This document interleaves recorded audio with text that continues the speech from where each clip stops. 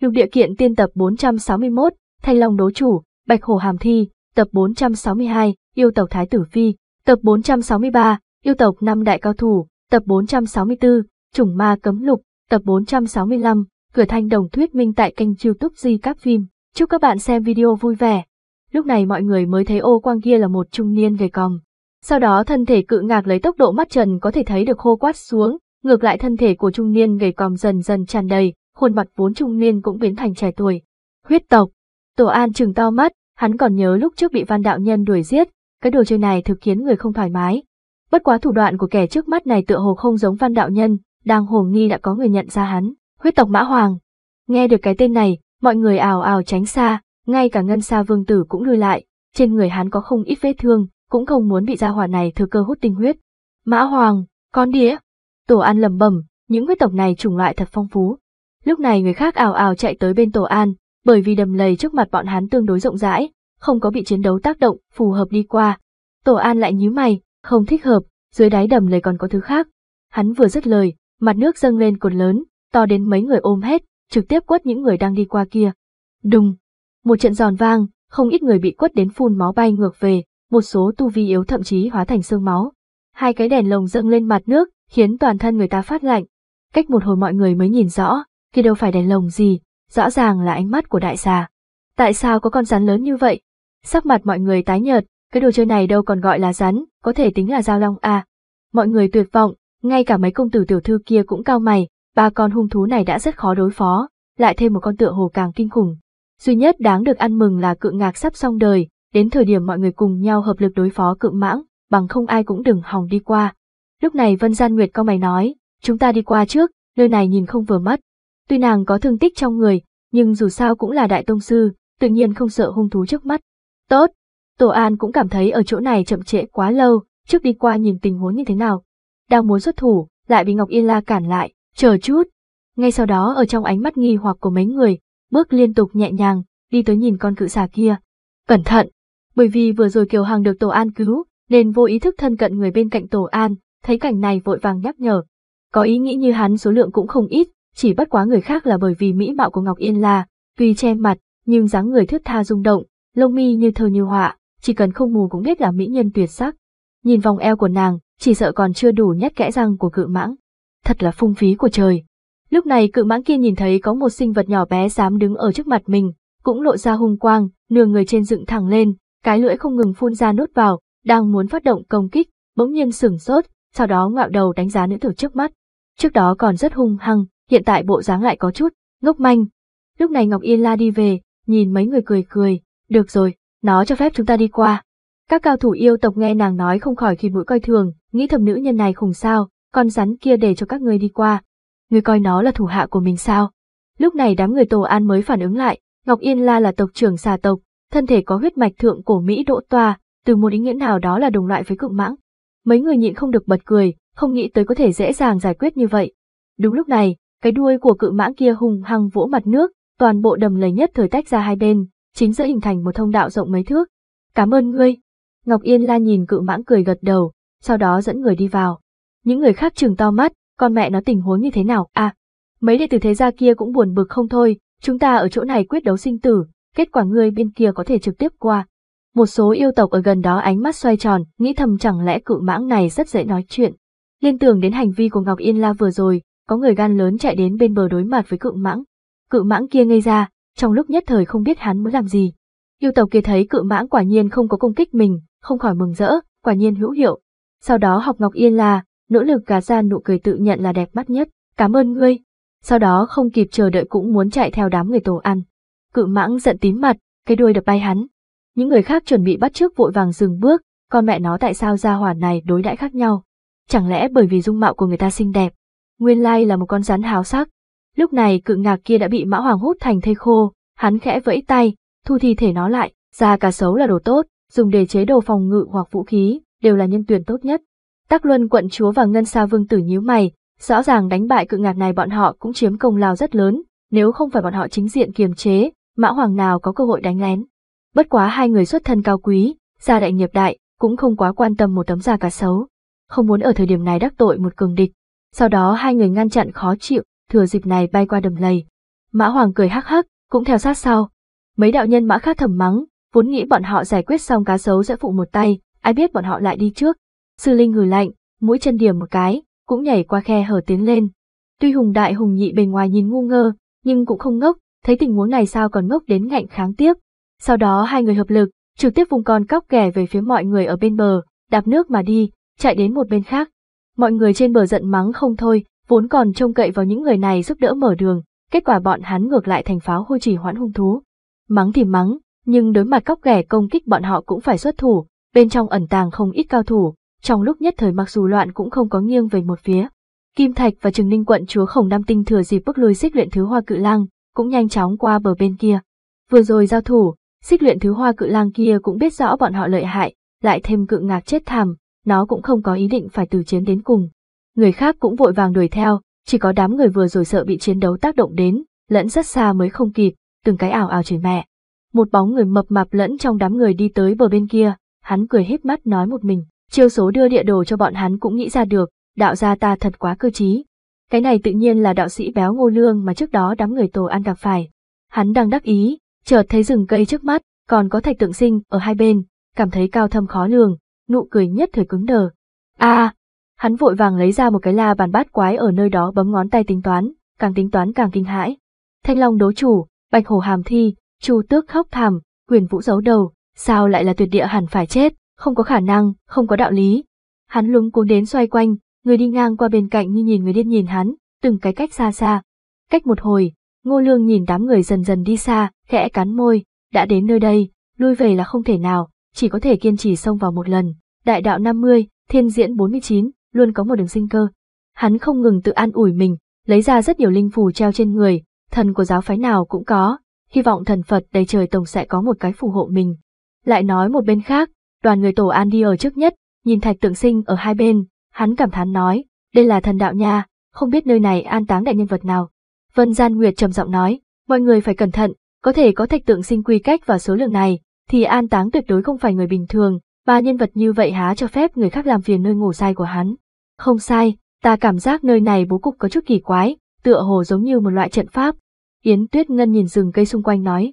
Tổ An cũng nỗ lực dùng ngọc tông câu thông động vật xung quanh, bất quá không có đáp lại gì, hiển nhiên nơi này là một vùng đất chết. Lúc này Ngọc Yên La nói, vừa rồi đại xà kia nói, nói trong này có đồ vật giúp ta kích hoạt huyết mạch. Tổ An giật mình, yêu tộc tu hành không phải làm từng bước, tuy hiện tại nàng có thể sử dụng năng lực Mỹ đỗ toa, nhưng có hạn chế rất lớn, nếu triệt để giác tỉnh huyết mạch, chỉ sợ thực lực của nàng có thể tăng một bậc thang. Vậy lần này xem như long đàm hổ huyệt cũng phải xông. Vân Gian Nguyệt nghi ngờ, vừa rồi không thấy các người nói chuyện phiếm nha. Ngọc Yên La đỏ mặt, xà tộc chúng ta có phương pháp giao lưu đặc thù của mình. Bởi vì thời gian dài sinh hoạt ở xã hội loài người, trong nội tâm nàng càng nhiều xem mình là người, có chút xấu hổ ở trước mặt mọi người nhắc tới xà tộc. Đúng lúc này, bên cạnh vang lên tiếng kinh hô. Mấy người ngẩng đầu nhìn, phát hiện theo bọn hắn xâm nhập, xung quanh bắt đầu dâng lên vũ khí. Mới đầu vũ khí còn rất mỏng manh, trong núi rừng có sương mù là rất thường thấy, nên mọi người không quá quan tâm. Nhưng cơ hồ chỉ nháy mắt, mọi người phát hiện sương mù đã nồng đến thấy không rõ đồ vật ngoài một thước. Tốc độ này quá nhanh, ai cũng biết không bình thường. Rất nhanh, âm thanh các loại binh khí ra khỏi vỏ vang lên, hiển nhiên mọi người đều đề phòng, sợ có đồ vật gì đó từ trong sương mù lao ra đánh lén. Tổ An trầm giọng nói, tựa hồ những sương mù này có tác dụng ngăn cách linh giác, hiện tại cơ bản không biết tình hình nơi xa. Từ khi luyện ra thần hồn, một khu vực phương viên rộng lớn tùy thời ở trong theo dõi của hắn, bây giờ hắn lại cảm giác mình giống như biến thành người mù. Quả nhiên từ nghèo thành giàu dễ, từ giàu thành nghèo khó. Yến Tuyết Ngân cũng gật đầu, ta cũng kém không nhiều, mọi người không nên cách quá xa, nơi này hơn phân nửa là mê cung. Vân Gian Nguyệt cười híp mắt nói, bằng thạch nữ ngươi sợ lạc, không bằng để ta nắm tay ngươi, như vậy sẽ không lạc được. Yến Tuyết Ngân trực tiếp đáp lại bằng cái hử lạnh, Vân Gian Nguyệt cũng không tức giận, nhà, ghét bỏ ta nắm, vậy ngươi là muốn để Tiểu An Tử nắm tay ngươi. Yến Tuyết Ngân buồn bực nói, yêu nữ ngươi có hết hay không? Tổ An đang muốn khuyên bảo, cách đó không xa bỗng nhiên truyền đến tiếng kêu thê lương thảm thiết, ngay sau đó loáng thoáng cảm giác được một bóng người đi loạn, tựa hồ còn không ngừng bắt đồ và gì trên mặt, qua một lát thì ngã ở trên mặt đất, không còn thanh âm gì. Mấy người giật mình, tiếng thét này thực quá thê thảm, vừa rồi qua đầm lầy bị mấy hung thú ăn cũng không nghe hét thảm như vậy. Đám người tổ an liếc nhau, quyết định đi qua nhìn tình huống, tiếng thét này quá khiếp người, dù sao cũng phải biết rõ ràng. Người có ý nghĩ như bọn hắn cũng không ít, tỉ như mấy người trước đó ở đầm lầy đại chiến với hung thú. Chỉ thấy trên mặt đất nằm một yêu tộc, khuôn mặt sớm đã biến dạng, trên mặt trên cổ bị cào máu thịt be bét, nhìn vết máu trong móng tay, cái này đều là chính hắn cào ra. Trước đó không ít người gặp qua hắn xuất thủ, tuy kém đám người tác luân quận chúa, nhưng kém không nhiều lắm. Một cao thủ như vậy, lại kỳ lạ chết ở chỗ này, tất cả mọi người có dự cảm không lành. Chẳng lẽ có cái gì giấu ở trong sương mù đánh lén? Tác luân quận chúa nghi ngờ nói. Không có khả năng, vừa rồi ta ở bên cạnh hắn, không có bất kỳ người nào tiếp cận, hắn cũng rất cảnh giác, tận lực duy trì khoảng cách với người khác. Đoàn Thiên Đức nói, ám dạ tinh linh xưa nay am hiểu ẩn nặc ám sát, ngay cả hắn cũng nói không có đồ vật gì tiếp cận, như vậy khẳng định là không có. Vậy hắn đến cùng chết như thế nào? Mọi người trợn tròn mắt. Đúng lúc này, lại từng tiếng kêu thảm truyền đến. Mọi người vội vàng quay đầu nhìn, nhóm người vây quanh ở hàng trước nhất xem xét thi thể đều có tu vi, địa vị tối cao, người khác không thể không ở ngoại vi nhón chân lên xem. Càng ở tầng ngoài, tu vi càng thấp. Đương nhiên cũng có chút cao thủ đặc lập độc hành ở xa xa cảnh giác, đề phòng nhìn hết thảy người tiếp cận mình. Mà chuyện lại xảy ra với những gia hỏa đơn độc kia. Tình hình của bọn hắn giống người vừa rồi như đúc, liều mạng nắm mặt, cổ mình, thân thể vặn vẹo nhảy loạn, giống như tăng thi. Âm thanh phanh phanh phanh, vang lên, thời gian bọn họ kiên trì không có lâu như người trước đó, từng cái ảo ảo ngã xuống đất bất động. Lần này khoảng cách gần nhìn từng màn phát sinh, nhưng vẫn không biết bọn họ chết như thế nào, nhưng mọi người không khỏi bốc lên ý lạnh. Nhìn đồng loại không minh bạch chết đi, tất cả mọi người đều hoảng sợ. Mấu chốt là ở trên người bọn họ không tìm được một chút vết thương. Có người ngồi xổm ở bên cạnh những thi thể này tìm kiếm, điều tra tình huống trong thân thể bọn họ, bọn họ không có trúng độc, à, sao cảm giác tinh huyết đều bị hút khô vậy? Lời vừa nói ra, mọi người đều nhìn về phía Mã Hoàng, Mã Hoàng giật mình, vội vàng khoát tay, không quan hệ với ta, không ít người có thể làm chứng, vừa rồi ta một mực ở nơi này, không có cơ hội động thủ. Ngân Sa Vương Tử nói, cái này ta có thể làm chứng, vừa rồi ta một mực lưu ý hắn, hắn xác thực không có xuất thủ. Bởi vì vừa rồi nhìn thấy hắn hút cự ngạc thành thây khô, trên người mình lại có thương tích, lo lắng đối phương nổi lên ý đồ xấu, cho nên hắn một mực cẩn thận đề phòng, không nghĩ tới ngược lại giúp đối phương làm chứng.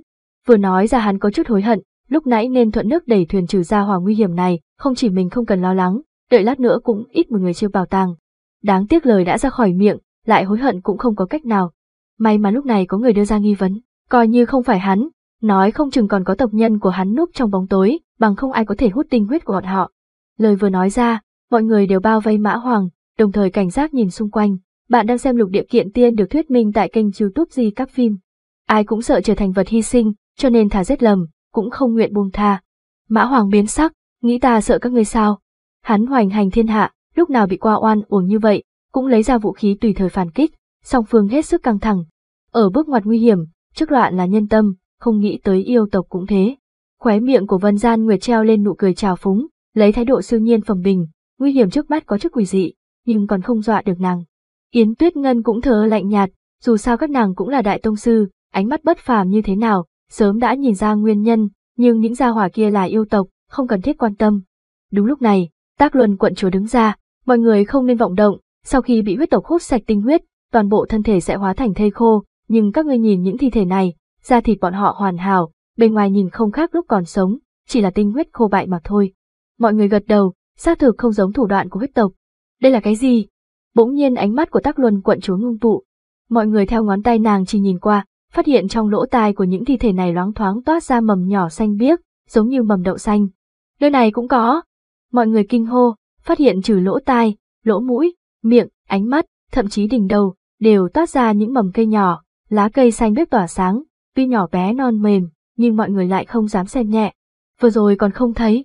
Lúc này có người cởi y phục của những thi thể ra, phát hiện trên thân thể bọn họ, rất nhiều nơi da thịt vỡ nát, lít nha lít nhít mầm xanh. Nguyên lai bọn họ là bị những mầm cây nhỏ này hút khô tinh huyết. Tại sao trong thân thể bọn họ lại có loại cây này? Mọi người đều nghi hoặc. Chẳng lẽ trước đó bọn họ trúng độc? Có người đưa ra nghi vấn. Bọn họ đa số không biết nhau, tại sao lại trúng cùng một loại độc?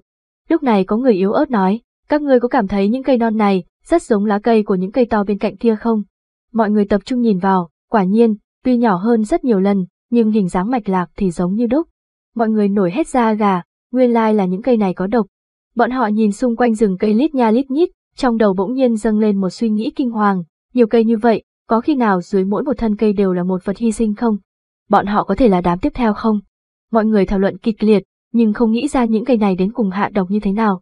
Không phải độc, mà là hạt giống, hạt giống của những cây này lan tỏa khắp nơi, chúng vốn nhỏ bé, lại thêm có sương mù dày đặc yểm hộ, rất khó bị người phát hiện. Vân Gian Nguyệt giải thích với Tổ An, chỉ cần tu vi đầy đủ, lấy nguyên khí hộ thể, hoặc có pháp bảo hộ thân, thì có thể bình yên vô sự. Mấy người bọn họ nội tình thâm hậu, trên người vốn có không ít pháp bảo, lại thêm thực lực cường đại, những hạt giống kia biết bọn họ không dễ chọc, nên không dám tới quấy rối. Người ở gần nghe bọn họ nói chuyện, một chuyện mười mười chuyện trăm, rốt cuộc cũng hiểu xảy ra chuyện gì. Không ít người ngoài ý muốn liếc nhìn nàng, vốn cho rằng là cơ thiếp của công tử nhà giàu, không nghĩ tới lại có kiến thức như vậy. Mọi người có pháp bảo thì tế lên pháp bảo, không có pháp bảo thì vận chuyển nguyên lực, để hạt giống xung quanh không dám tới gần. Có ít người lo lắng đã hút vào hạt giống, vội vàng vận công bài trừ tạp vật trong cơ thể, khoan hãy nói, thật bị bọn họ tìm ra. Công lực cao thì triển bí pháp loại trừ hạt giống mọc dễ nảy mầm trong cơ thể, công lực yếu thì không có cách, chỉ có thể hết sức trèo trống, sau cùng đánh không lại sinh mệnh lực ương ngạnh của những hạt giống kia, bị hút khô, mầm cây phá ra chui ra, chết thảm tại chỗ. Yêu tộc khác cũng không có ý cứu giúp, mạnh được yếu thua xâm nhập vào trong xương của bọn hắn, bọn họ không hề coi trọng tình bạn bè hỗ trợ gì cả. Đi ra ngoài tìm bảo bối, như nhảy múa trên lưỡi đao, mất mạng là quá bình thường, huống chi còn có thể loại một số người cạnh tranh, cớ sao mà không làm. Tìm được kẻ cầm đầu, có người tức không nhịn nổi, định tìm những cây to kia trước giận, mỗi người huy động binh khí muốn chém đứt, phải biết người tu hành khí lực to lớn, muốn chặt một cây còn không đơn giản. Kết quả những cây này không biết làm bằng vật liệu gì, bọn họ chặt nửa ngày chỉ có thể tạo thành vết thương bình thường, hơn nữa những cây đó dường như có thể tái sinh, miệng vết thương không ngừng phục hồi như cũ. Sau cùng phí khí lực nửa ngày, ngay cả một cây cũng không chém đứt. Mặt khác có người nỗ lực thi triển lực nguyên tố, dùng lửa đốt rừng cây, ai biết những hỏa nguyên tố kia đến trên cây tự động tiêu tán, hỏa diễm dập tắt, chỗ nào cháy lên được. Nhìn bọn hắn trợn mắt hốc mồm, đạo sĩ béo ngô lương núp trong bóng tối thầm mắng. Một đám ngu xuẩn, rừng cây này là trận pháp đặc thù dẫn động địa mạch chi lực bố trí xuống, chỉ cần địa mạch chi lực không dứt, trận pháp không hủy, đừng nói các ngươi, coi như đại tông sư tới cũng chưa chắc hủy được. Đám người tổ an cũng nhìn ra nơi đây dị thường, không muốn ở cùng những yêu tộc kia, quay người đi vào rừng cây. Một vào tán tu dọc theo con đường này cảm nhận được bọn họ bất phàm, cũng vội vàng theo sau, dường như làm thế sẽ nhiều mấy phần cảm giác an toàn. Những yêu tộc khác thấy tốn công vô ích thì thu tay lại, ai cũng không nguyện ý hao phí khí lực ở chỗ này, dù sao đợi lát nữa còn phải cùng những người này đoạt bảo. Có phòng bị, những hạt giống kia không còn cách nào ký sinh lên người bọn họ. Đương nhiên có chút tu vi kém, hoặc không có pháp bảo hộ thân, thì chỉ có thể bất đắc dĩ lui về. Mặc dù bảo tàng trọng yếu, nhưng cũng phải có mạng dài nhà. Đám người tổ an đi ở phía trước, bởi vì sương mù dày đặc, sớm đã không nhìn thấy nhật nguyệt, thậm chí không biết hiện tại là ban ngày hay đêm tối. Mấy người nhíu mày, trước đó ở bờ bên đầm lầy nhìn qua, tựa hồ rừng cây không quá lớn, theo lý thuyết lấy cước trình của bọn họ, sớm nên đi ra ngoài mới phải. Đây là mê cung, còn bị người bố trí xuống trận pháp cực kỳ cao minh. Yến Tuyết Ngân dừng bước, càng chạy càng không có cảm giác phương hướng, phải biết loại sự tình này không có khả năng phát sinh ở trên người tu sĩ đẳng cấp cao. Khắp nơi im ắng, chỉ có mọi người cẩn thận từng ly từng tí đi đường, dẫm lên cành khô lá héo phát ra tiếng rào rạc, ở dưới bóng đêm vắng vẻ mà trống trải, chuyển đi rất xa, bầu không khí có chút quỷ dị. Ta cảm thấy không thể đi tiếp, tựa hồ phương hướng ở nơi này có vấn đề. Tắc Luân quận chúa nói.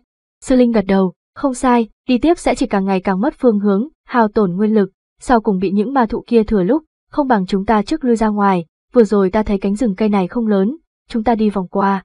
Hắn đề nghị được rất nhiều người đồng ý, loại mê vụ vô cùng vô tận này làm áp lực trong lòng mọi người quá lớn. Sau khi rời rừng cây quỷ dị, lấy cước trình của bọn họ, mấy chục dặm cũng có thể dễ dàng vòng qua. Rất nhanh bọn hắn biến thành hành động. Ngọc Yên La nhìn mọi người, chúng ta tiếp tục thâm nhập hay ra ngoài. Nàng có chút sầu lo, không muốn bởi vì một đồ vật tăng lên mình hư vô mờ mịt mà để mọi người mạo hiểm. Vân gian người xem thường nói, đã tới nơi này, nào có đạo lý lui lại. Bị thương nữa nàng cũng là đại tông sư, dũng khí lớn hơn người bình thường rất nhiều. Yến Tuyết Ngân cũng gật đầu nói, ta cũng đồng ý tiếp tục thâm nhập, bất quá lại không thể đi mù quáng, trước thăm dò quy luật của trận pháp đã. Tổ An như có điều suy nghĩ, người thiết kế mê trận này, chỉ sợ sẽ không dễ dàng để người lui ra ngoài như vậy. Lúc này bên khác truyền đến tiếng kinh hô, à, sao cảm giác không giống con đường mới vừa tới. Chờ chút, vì sao tiêu ký ta lưu lại ở ven đường không còn. Có thể kiên trì đến nơi đây, trên cơ bản không có người yếu, từng cái kinh nghiệm giang hồ phong phú, cho nên rất nhiều người vừa nhìn thấy mây vụ liền đề phòng, lưu lại tiêu ký đặc thù ở ven đường. Vừa rồi nghe nói muốn đi ra ngoài trước, những người này còn có chút đắc ý, còn định âm thầm rời đi, để những người khác chết ở chỗ này. Ai biết bọn họ tìm nửa ngày, lại tìm không thấy tiêu ký mình lưu lại, trong lúc sợ hãi nào còn có tâm tư hố người khác, ào ào kêu lên. Hoàng sợ là sẽ truyền nhiễm, càng ngày càng nhiều người kêu lên, ngay cả sư linh, tác luân quận chúa, kim thạch cũng run rẩy, trong bọn họ cũng có người lưu lại ân ký, nhưng tìm không thấy. Nơi xa, Yến Tuyết Ngân nói, những sương mù này có gì đó quái lạ, tờ hồ câu thông đại địa chi lực, toàn bộ đại trận tùy thời thay đổi, bọn họ lưu lại ấn ký tự nhiên tìm không thấy. đại trận này tùy thời biến hóa, nhưng vì sao đi tới, hoàn toàn không có phát giác được xung quanh động đậy. Ngọc Yên La kinh ngạc nói, đây chính là chỗ huyền diệu của trận pháp cao cấp, làm cho người trong trận hoàn toàn cảm giác không thấy biến hóa. Yến Tuyết Ngân tán thưởng, cũng không biết nhân vật lợi hại nào bố trí xuống đại trận này, quả nhiên là kinh tài tuyệt diễm. Vân Gian Nguyệt bất mãn nói, đừng ở nơi đó thổi phồng người khác, ta biết Bạch Ngọc Kinh các người am hiểu trận pháp, người thân là quan chủ, tự nhiên cũng sẽ không kém, nhanh suy nghĩ làm sao phá trận đi. Lúc không bị thương tổn nàng tự nhiên không cần phiền toái như vậy, trực tiếp lấy lực phá xảo, nhưng hiện tại chỉ có thể cúi đầu trước hiện thực. Yến Tuyết Ngân đỏ mặt, ta còn cần thời gian. Sau khi nói xong ngồi trồm hổm ở trên mặt đất, dùng một nhánh cây vẽ vẽ, nhìn những đường nét kia tựa hồ là lộ tuyến vừa rồi đi qua, ngoài ra còn có toàn cảnh rừng cây, hiển nhiên nàng đang tiến hành diễn toán phức tạp. Nhìn nàng nghiêm túc, nét đẹp càng lộ rõ, dù Vân Gian Nguyệt thường xuyên đối nghịch, cũng không thể không cảm thán băng thạch nữ này quả thật rất đẹp, khó trách mỗi đến chỗ nào, đều có một đám người coi nàng là tin tưởng nịnh bợ. Lúc này một bên khác, những yêu tộc kia cũng đang nghiên cứu, khổng tước tộc ninh công chúa cùng đại bằng tộc kim thạch nỗ lực bay đến không trung, nhìn có thể đột phá những sương mù này dòng ngó toàn cảnh không, ai biết vừa bay lên ba thước, đã song song ngã xuống. Hai người sợ hãi, chúng ta không có cách nào phi hành. Một số cường giả khác cũng nỗ lực bay lên không trung, tuy bọn họ chưa tới tông sư, nhưng có đã đến cửu phẩm, ngắn ngủi bay lên không trung không có vấn đề quá lớn. Kết quả tất cả mọi người phát hiện không có cách nào bay lên, nhất thời vỡ tổ. Nơi xa Vân Gian Nguyệt trợn mắt chừng một cái, bọn gia hỏa yêu tộc này sống ở trong mơ sao, hiện tại mới ý thức được không thể bay, quả thực là một đời không bằng một đời. Ngọc Yên La sâu kín nói, ta cũng là yêu tộc. Vân Gian Nguyệt lộ ra vẻ tươi cười, không có nói ngươi. Nhìn thấy một màn này, Tổ An mỉm cười, vừa rồi bọn họ tiến đến đã phát hiện không cách nào phi hành, hiển nhiên địa phương đặc thù này tước đoạt năng lực phi hành của mọi người. Có thể bố trí trận pháp đến bước này, không biết phải có tu vi như thế nào mới làm được.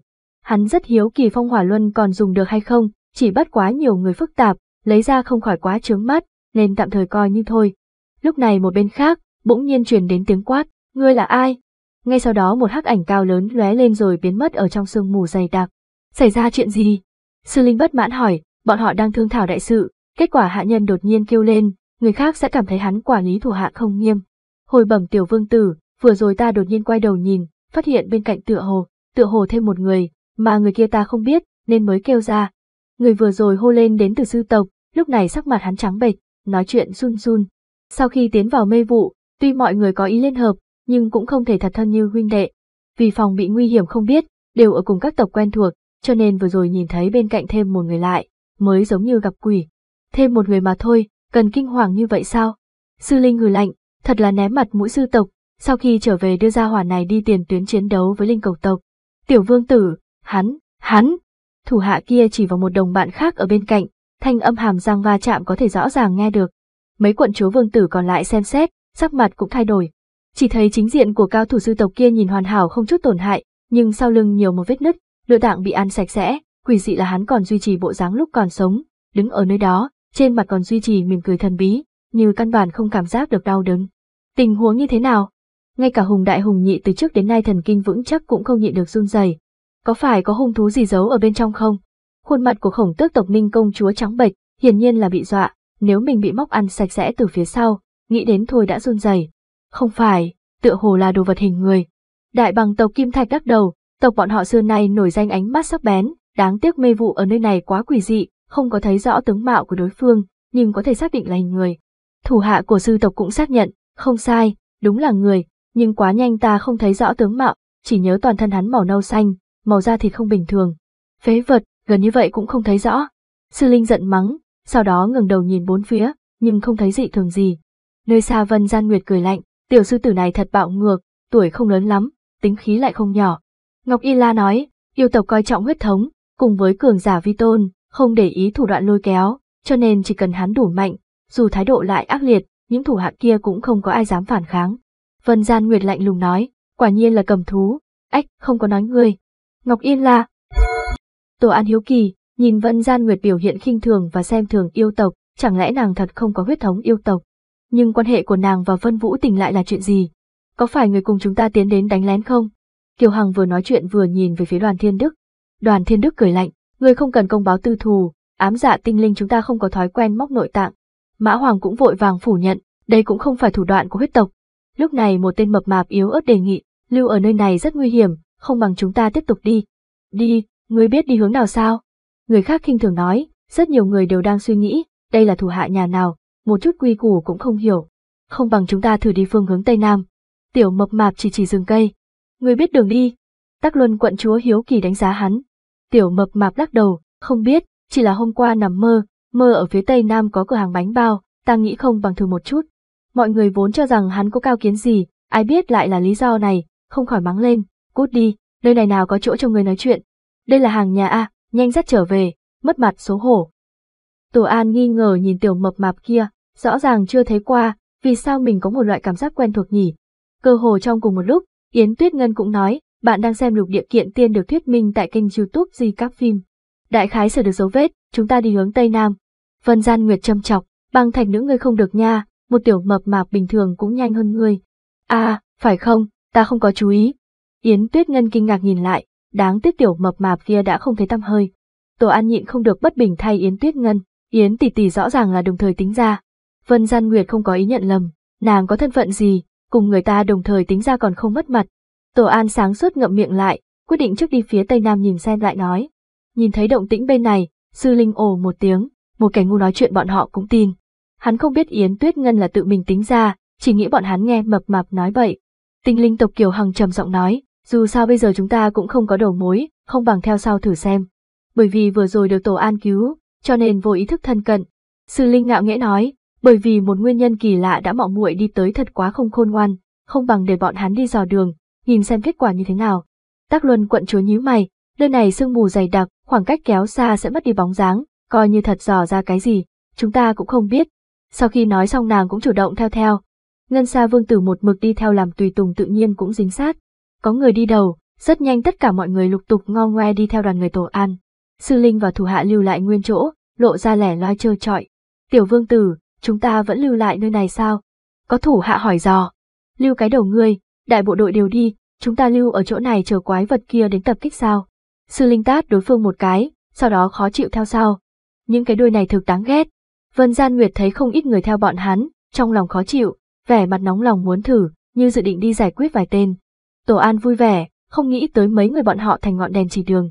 Được rồi, theo thì theo, những người này cũng không tạo được uy hiếp gì với chúng ta, ngược lại rừng rậm này quá mức cổ quái, không nên phức tạp. Nghe hắn nói như vậy, Vân Gian Nguyệt hừ lạnh, nhưng không phản bác nữa.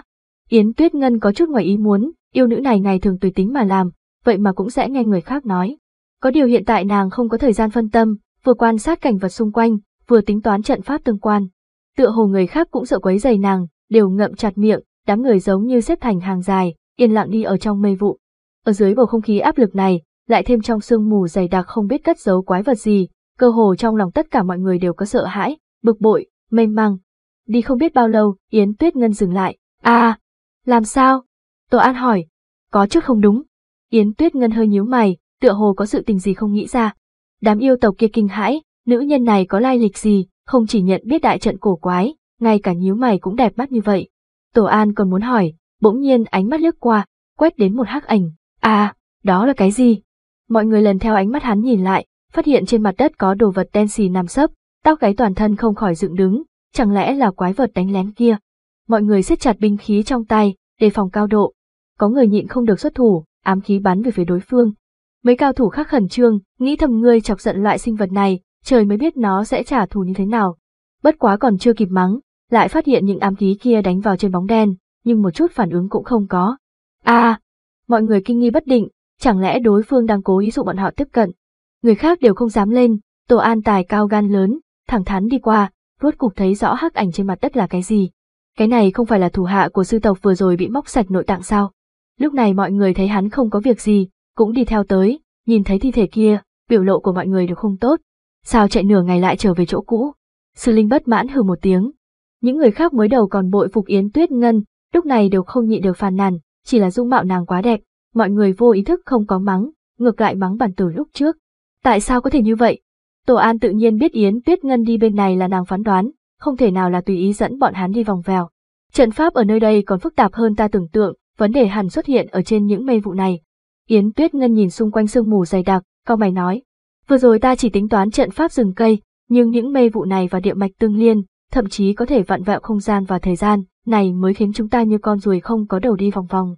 Vặn vẹo không gian và thời gian. Tổ An giật mình, cái này là thủ đoạn cỡ nào? tương đương với bọn họ ở chỗ này nhìn như đi lên phía trước, trên thực tế lại có khả năng đi về sau, ngươi cho rằng đi thật lâu, nhưng thực chỉ qua một cái chớp mắt, ngươi cho rằng qua chớp mắt, nói không chừng đã qua mấy ngày. Vậy làm sao bây giờ? Vân Gian Nguyệt cười lạnh nói. Ngươi sẽ không nói cho ta, ngươi không giải quyết được nơi này chứ? Nếu như không có những mê vụ này, ta tự nhiên có thể giải mở, hoặc ta không thụ thương, cũng có biện pháp, nhưng hiện tại, Yến Tuyết Ngân khó khăn. Để cho ta suy nghĩ một chút. Vân Gian Nguyệt vô ý thức muốn mỉa mai nàng vài câu, có điều nàng cũng phân rõ nặng nhẹ, cuối cùng không có quấy rầy nàng ở thời điểm này. Những yêu tộc kia càng tranh luận không dứt, đủ loại đề nghị xuất hiện, nhưng rất nhanh liền bị người khác phủ định. Trong lúc nhất thời ai cũng không dám tiếp tục đi loạn, lo lắng càng lún càng sâu. Nhưng tiếp tục ở tại chỗ bất động cũng không phải vấn đề, trong sương mù còn cất giấu quái vật móc nợ tặng người nhà. Lúc này trong đám người, tiểu mập mạp kia lộ vẻ do dự, cuối cùng cắn răng nói, không bằng để cho ta thử một chút. Còn thử, vừa rồi là ngươi chỉ phương hướng, để chúng ta đi một vòng nha. Đúng rồi, ngươi từ đâu tới? Mọi người đang nín một bụng tức giận, trong nháy mắt có chỗ phát tiết. Mập mạp kia cũng không tức giận, cười híp mắt nói, dù sao hiện tại cũng không có biện pháp khác, không bằng lấy ngựa chết làm ngựa sống. Mọi người trợn trắng mắt, sao gia hỏa này nói chuyện xui xẻo như thế.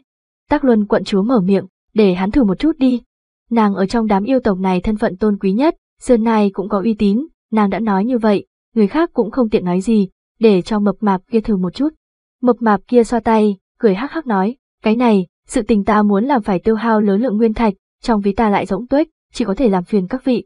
Tắc Luân quận chúa. Bọn người người. Rất nhiều người xiết quả đấm muốn đánh hắn, cuối cùng may có tác Luân quận chúa ngăn lại, ném một cái túi đến trong ngực hắn. Những thứ này có đủ không? Mập mạp kia mở túi ra nhìn xem, nguyên khí nồng đậm tứ tán, người xung quanh nhón chân lên ngó ngó, chỉ thấy bên trong nằm từng viên nguyên thạch sáng long lanh, hơn nữa thể tích còn không nhỏ, hiển nhiên đều là nguyên thạch thiên cấp. Nguyên thạch cũng chia làm phàm, địa, thiên, tiên, thần, chỉ bất quá không nghi hữu giống như binh khí thiên cấp, các thế lực có không ít nguyên thạch thiên cấp, chỉ là tiên cấp và thần cấp thì hiếm thấy. Mọi người tán thưởng, không hổ là tác luân quận chúa, vừa ra tay là một túi nguyên thạch thiên cấp. Mập mạp kia khó xử, còn chưa đủ. Bên cạnh có người mắng, mập mạp chết bầm, một trăm viên nguyên thạch thiên cấp cũng không đủ, ngươi còn muốn bao nhiêu. Giữa sân đều là cao thủ, vừa rồi nhìn qua đã đại khái tính được số lượng.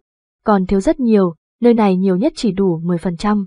Bàn tử ủy khuất nói, ta có 150 viên, cầm lấy dùng đi. Trường Ninh quận chúa cũng đưa qua một cái túi. Nghe nàng cho ra số lượng còn nhiều hơn mình, tác luân quận chúa hơi nhướng mày, bất quá không nói gì thêm.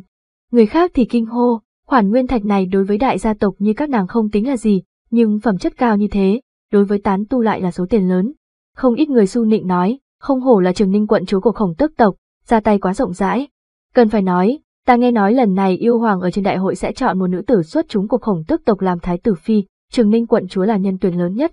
Cái gì nhân tuyển lớn nhất, nàng không phải thái tử phi tương lai sao, có ánh mắt hay không? Nghe mấy người này nghị luận, trường ninh quận chúa dương dương cái cầm, như một con tiểu khổng tước kiêu ngạo. Nàng rất rõ ràng, nhân tuyển thái tử phi lần này, tộc tỷ khổng nam vũ hy vọng lớn hơn nàng nhiều, vô luận là huyết mạch, hoặc dung mạo, tư chất, mình đều kém đối phương. Nhưng tựa hồ khổng nam vũ không có hứng thú làm thái tử phi, sớm tránh sang thế giới nhân tộc. Cứ như vậy, nàng liền thành nhân tuyển tốt nhất. Từ nhỏ đến lớn, cái gì nàng cũng không bằng khổng nam vũ, khắp nơi bị đối phương áp chế, trong nội tâm nàng rất khó chịu, một mực muốn vượt qua đối phương. Cơ hội trời cho lần này, nàng làm sao có thể bỏ lỡ. Cho nên trong khoảng thời gian này nàng lộ diện nhiều lần, chính là muốn thu mua nhân tâm, gia tăng danh vọng. Chỉ cần trở thành thái tử phi, như vậy sau này chính là yêu hậu, Hồng Nam Vũ nhìn thấy mình chỉ có thể ngoan ngoãn quỳ xuống hành lễ. Vừa nghĩ tới tràng cảnh đó, khóe môi nàng đã dương lên. Hồng Nam Vũ thắng cả đời, chiến mấu chốt nhất nhất lại thua, thì có ích lợi gì. Lần này nàng nghe nói Kim Ô Thái tử đi sứ các tộc, nên vụng trộm theo đuôi, vốn muốn chế tạo ngẫu nhiên gặp, sớm thành lập cảm tình với Kim Ô Thái tử, gia tăng xác suất mình trúng tuyển, không nghĩ tới trước đó vài ngày, tựa hồ Kim Ô Thái tử xảy ra chuyện, vội vã về Vương Đình, hại nàng bắt hụt. Nhân loại đáng chết kia. Đến từ khổng Nam Tinh, điểm nộ khí cộng 444 cộng 444 cộng 444. Nơi xa, Tổ An không còn gì để nói, khó trách hận mình, nguyên lai là thái tử phi tương lai. Nghĩ đến lần trước đánh bạc với Kim Ô thái tử, nhất thời cảm thấy mình thua thiệt. Tuy nữ nhân này có chút tương xác, nhưng so với Hồng Nhan chi kỳ ở bên cạnh mình lại kém một đoạn. Ai, yêu tộc thật không có tiền đồ, đường đường thái tử phi lại kém như thế. Lúc này bên kia vang lên âm thanh lạnh lùng, ai nói thái tử phi nhất định phải đến từ khổng tước tộc, tuyết công chúa của tinh linh tộc chúng ta mới là nhân tuyển có khả năng thành thái tử phi nhất. Nói chuyện là tinh linh tộc Kiều Hằng, vốn vừa rồi hắn còn cùng trường ninh quận chúa liên thủ chiến đấu, nhưng liên quan đến vinh nhục của chủng tộc, hắn lại không thể làm như không nghe thấy. Nơi xa sắc mặt của Tổ An trở nên đặc sắc, tuyết công chúa trong mộng hắn, không phải là tuyết nhi đó chứ. Nghe Kiều Hằng nói, những người vừa rồi a dua nịnh hót trường ninh quận chúa nụ cười cứng đờ, âm thầm hối hận, sao mình lại quên sự tình này, nếu tương lai tuyết công chúa thượng vị, chẳng phải chúng ta đắc tội nàng. Nhưng bây giờ ở trước mặt trường ninh quận chúa, lại không tiện mở miệng, từng cái cứng ở đó không biết làm sao cho phải. Sắc mặt của trường ninh quận chúa không khó coi, thực ra trong lòng nàng rất muốn phản bác, nhưng mình tự thân ra mặt, không khỏi quá mất thân phận, một khi lan truyền, sẽ bất lợi cho danh tiếng của nàng. May mà lúc này một thanh âm khác vang lên giải vây cho nàng, ha ha, tuyết công chúa, nghe nói trước kia ở nhân tộc làm nha hoàn cho người ta, lý lịch như vậy làm sao có khả năng trở thành thái tử phi, đây chẳng phải để toàn bộ yêu tộc trở thành trò cười cho thiên hạ. Tổ An nghe mà trợn mắt hốc mồm, thật đúng là Tuyết Nhi. Khuôn mặt của Kiều Hằng nhất thời đỏ bừng, buồn cười, những năm này Tuyết công chúa ở nhân tộc nằm gai nếm mật, cuối cùng thành công cứu viện rất nhiều tộc nhân, đây mới thực vì yêu tộc, nếu làm như vậy cũng bị người mỉa mai, ai còn dám làm việc cho yêu tộc. Sự tình nào tính sự tình đó, nàng thành công cứu được tộc nhân về yêu tộc, yêu hoàng đã ban thưởng nàng, ban cho nàng vô số tài nguyên, còn ngoại lệ thăng làm công chúa, mà hiện tại chúng ta thảo luận là sự tình thái tử phi, muốn trở thành thái tử phi của yêu tộc, các phương diện đều không tì vết mới được. Đoàn Thiên Đức cười hắc hắc nói, nàng ở xã hội nhân tộc làm thị nữ nhiều năm như vậy, nói khó nghe chút, chưa hẳn vẫn còn tấm thân xử nữ, huyết mạch yêu hoàng, làm sao có thể có chút vết bẩn. Kiều Hằng giận tím mặt, người lại dám mở miệng làm nhục tuyết công chúa, chịu chết đi. Trước đó hắn ở bên đầm lầy bị đối phương đánh lén xém chết, vì đại cục mới nhịn xuống, nhưng lần này lại không nhịn được nữa, trực tiếp dương cung lắp tên bắn tới. Đoàn Thiên Đức sớm có phòng bị, vung kiếm chém bay mũi tên. Thời điểm định phản kích lại bị mấy người khác ngăn lại, Thiết Thạch nói, các vị an tâm chớ vội, hiện tại là thời khắc nguy cơ, chúng ta còn không đoàn kết nhất trí nội chiến mà nói, nói không chừng tất cả đều phải chết ở chỗ này. Mọi người đều khuyên nhủ, ngay cả trường ninh quận chúa cũng mở miệng, đều là ta không tốt, tạo thành hiểu lầm như vậy, ta không hy vọng thương tổn đến bất kỳ người nào, nếu các ngươi bị tổn thương, chỉ sợ ta sẽ băn khoăn cả đời. Hiện tại việc cấp bách là tề tâm hiệp lực rời khỏi nơi này, có chuyện gì đằng sau lại chậm rãi giải quyết. Dung mạo của nàng coi như xinh đẹp, bộ dáng lại điềm đạm đáng yêu, rất nhanh liền dẫn tới mọi người khen phải. Nơi xa, Vân Gian Nguyệt giống như cười mà không phải cười, tâm kế của nữ nhân này còn rất lợi hại.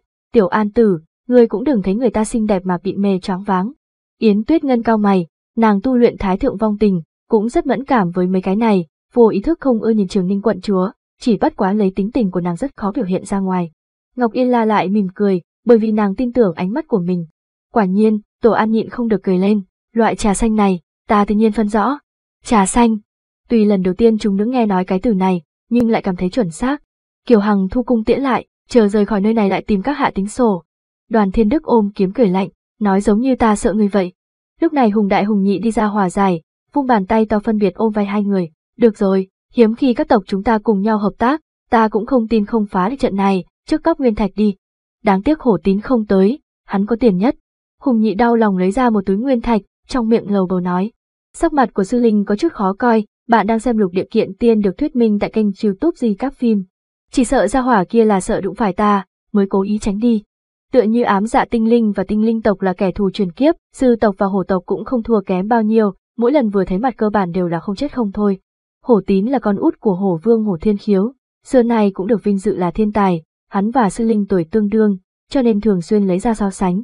Lần này sư linh cũng ma quyền sát trường, muốn thông qua đánh bại hồ tín dương danh thiên hạ, ai biết đối phương không tới. Thiết thạch cười nói, theo ta được biết, hắn vốn định tới, nhưng lâm thời có việc đi thanh khâu quốc một chuyến. Hả, hắn đi tìm tiểu nương sao? Không biết có phải muốn bú sữa hay không? Không ít người cười vang, hiển nhiên ở trong lòng yêu tộc, đều cho rằng Đồ Sơn Vũ là tình nhân của Hồ Thiên Khiếu. Nghe qua thanh khâu quốc chủ Đồ Sơn Vũ chính là mỹ nhân tuyệt sắc, lần này sau khi ra ngoài nhất định phải đi gặp. Ngươi cũng không nhìn lại bản mặt mình, người ta là quốc chủ sẽ gặp ngươi. Ta có thể vụng trộm tiến vào cung, hổ thiên khiếu mò được, ta không mò được sao? Yến Tuyết Ngân lạnh lùng nói, bọn gia hỏa này ô ngôn uế ngữ, thật chán ghét. Vân Gian Nguyệt cười lạnh, yên tâm, nơi này nguy hiểm như thế, đoán chừng những người này không có mấy cái còn sống ra ngoài được. Tổ An đang định giáo huấn những người kia, bỗng nhiên từng tiếng kêu thảm truyền đến, chỉ thấy mấy bóng người màu xám lướt qua, mấy tên vừa rồi cười lớn nhất bị bắt đi, tu vi của bọn họ rõ ràng không thấp, nhưng sau khi bị đối phương bắt, lại hoàn toàn không có dấu hiệu chống cự, rất nhanh biến mất ở trong sương mù dày đặc. Mọi người biến sắc, muốn xuất thủ cứu giúp, thế nhưng kiêng kỵ mê cung này sương mù dày đặc, ai cũng không dám tiến lên. Ngay sau đó truyền đến vài tiếng kêu thê lương thảm thiết, cuối cùng hết thảy lại yên tĩnh như cũ. Vừa rồi đến cùng là cái gì? Hùng đại hùng nhị gãi đầu. Không thấy rõ, tựa hồ diện mạo của đối phương rất mơ hồ. Sắc mặt của thiết thạch khó coi, vừa rồi chuyện xảy ra quá đột ngột, căn bản không kịp phản ứng. Đám người tổ an cũng nhíu mày, bọn họ cách xa, lại bị sương mù dày đặc ảnh hưởng, nên càng không thấy rõ. Trước rời khỏi nơi này đã. Có người đề nghị, vừa rồi bị tập kích, dẫn tới không ít người đồng ý. Hiện tại mạo muội tiến vào trong sương mù dày đặc, lại càng dễ bị đánh lén. Tắc Luân quận chúa mở miệng, nhìn về phía bản tử. Nguyên thạch đủ chưa? Hắn vẫn chưa trả lời, mới đầu còn có người không nỡ, hiện tại đều mở hầu bao, một đống lớn nguyên thạch trồng chất ở trước người bản tử. Đủ đủ. Bản tử lau mồ hôi, sau đó từ trong ngực lấy ra 49 cây cờ, lấy ý tứ thiên diễn 49. Mọi người vốn chỉ nề mặt Tắc Luân quận chúa mới cầm ra nguyên thạch, căn bản không tin mập mạp này có biện pháp, bất quá nhìn thấy một màn này, sắc mặt đều nghiêm nghị, xem ra ra hỏa kia xác thực có mấy phần bản lĩnh. Nhìn thấy những lá cờ kia, Tổ An nhất thời nhịn không được bật cười, nguyên lai là thần côn kia. Ngọc Yên la cao mày nói, là đạo sĩ béo đoán mệnh kia, thay hình đổi dạng, lén lén lút lút, vừa nhìn đã biết không có lòng tốt. Mang mặt nạ dịch dung, gia hỏa này lừa nhiều người tới nơi này như vậy, hiện tại lại chạy ra thiết kế trận pháp, không phải là muốn luyện hóa bọn họ đó chứ. Vân Gian Nguyệt xuất thân ma giáo, phản ứng đầu tiên liền nghĩ tới phương diện ác. Yến Tuyết Ngân lắc đầu, hẳn không phải, trên những lá cờ này không có sát khí huyết tinh. Tuy nói như vậy, nhưng nàng lại lưu ý động tác của đối phương, miễn cho thật bố trí xuống sát trận ngập trời gì. Chỉ thấy mập mạp kia nhanh chóng phát họa các loại trận văn phức tạp, sau đó vung tay lên, 49 lá cờ bay vào trong sương mù dày đặc. Ngay sau đó hắn ấn nguyên thạch xuống đất, trận văn dần dần sáng lên. Bỗng nhiên trong sương mù dày đặc hiện lên từng trận kim quang, đó là ánh sáng của 49 lá cờ kia. Cùng lúc đó, sương mù dày đặc lấy tốc độ mắt trần có thể thấy tiêu tán. Ngay sau đó, mọi người rốt cục nhìn thấy thứ giấu ở trong sương mù đánh lén bọn họ là thứ gì. Mấy bóng người màu xám đen ngồi xổm ở phía xa, ánh mắt sáng rực nhìn chăm chăm mọi người, phảng phất như đang nhìn con mồi. Hiện tại mê vụ tán đi, mọi người rốt cục thấy rõ khuôn mặt của bọn họ. Đâu phải người gì, rõ ràng là thạch tượng sinh ở hai bên đường trước đó.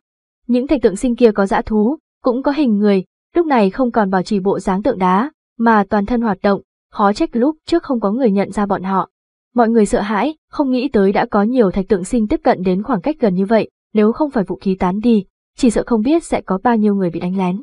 Giữa sân đều là cao thủ, trước đó bởi vì không biết, bị hoảng sợ chi phối, lại thêm đối phương tới vô ảnh, đi vô tung không có cách nào đánh trả, bây giờ nhìn thấy mục tiêu, đâu còn khách khí nữa, ảo ảo thi triển thủ đoạn đập tới. Những thạch tượng sinh kia cũng ý thức được nguy hiểm, muốn trốn vào trong sương mù dày đặc, nhưng các cao thủ yêu tộc sẽ cho chúng cơ hội. Mỗi cao thủ yêu tộc thân hình nhanh chóng, lập tức cắt đứt đường lui, sau đó vây công mấy thạch tượng sinh kia. Nhìn thấy không có cách nào đào tàu, những thạch tượng sinh kia cũng phát ra hung tính, trực tiếp quay người đại chiến. Rất nhanh mấy cao thủ yêu tộc kia tiếp xúc chúng, thân hình lập tức cứng đờ, sau đó không phải bị cắn rơi nửa cái đầu, cũng bị một chảo moi tim. Mọi người nhất thời bốc lên hơi lạnh, bọn gia hỏa này là ma quỷ sao? Cẩn thận, tựa hồ chỉ muốn chúng tiếp xúc thân thể sẽ để mục tiêu đánh bất lực hành động, mọi người không nên tay không đánh với chúng. Tắc Luân quận chúa thấy được rõ ràng, vội vàng nhắc nhở. Nơi xa Vân Gian Nguyệt âm thầm gật đầu, cô gái này không phải ngực to mà không có não, có mấy phần kiến thức. Không biết có phải nhìn ra bọn họ không dễ chọc không, những thạch tượng sinh kia căn bản không có tới bên này, các nàng tự nhiên vui vẻ xem cuộc vui.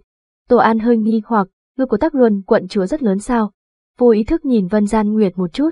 Ý thức được ánh mắt của hắn, Vân Gian Nguyệt trợn mắt, trên mặt nóng lên, muốn chết sao, nhìn ta làm gì? Yến Tuyết Ngân cũng không nhịn được nhìn chăm chăm ngực nàng, lại cúi đầu nhìn ngực mình, trong lòng cắt một tiếng, cũng không có lớn hơn ta, nói không chừng còn chiếm tiện nghi của y phục.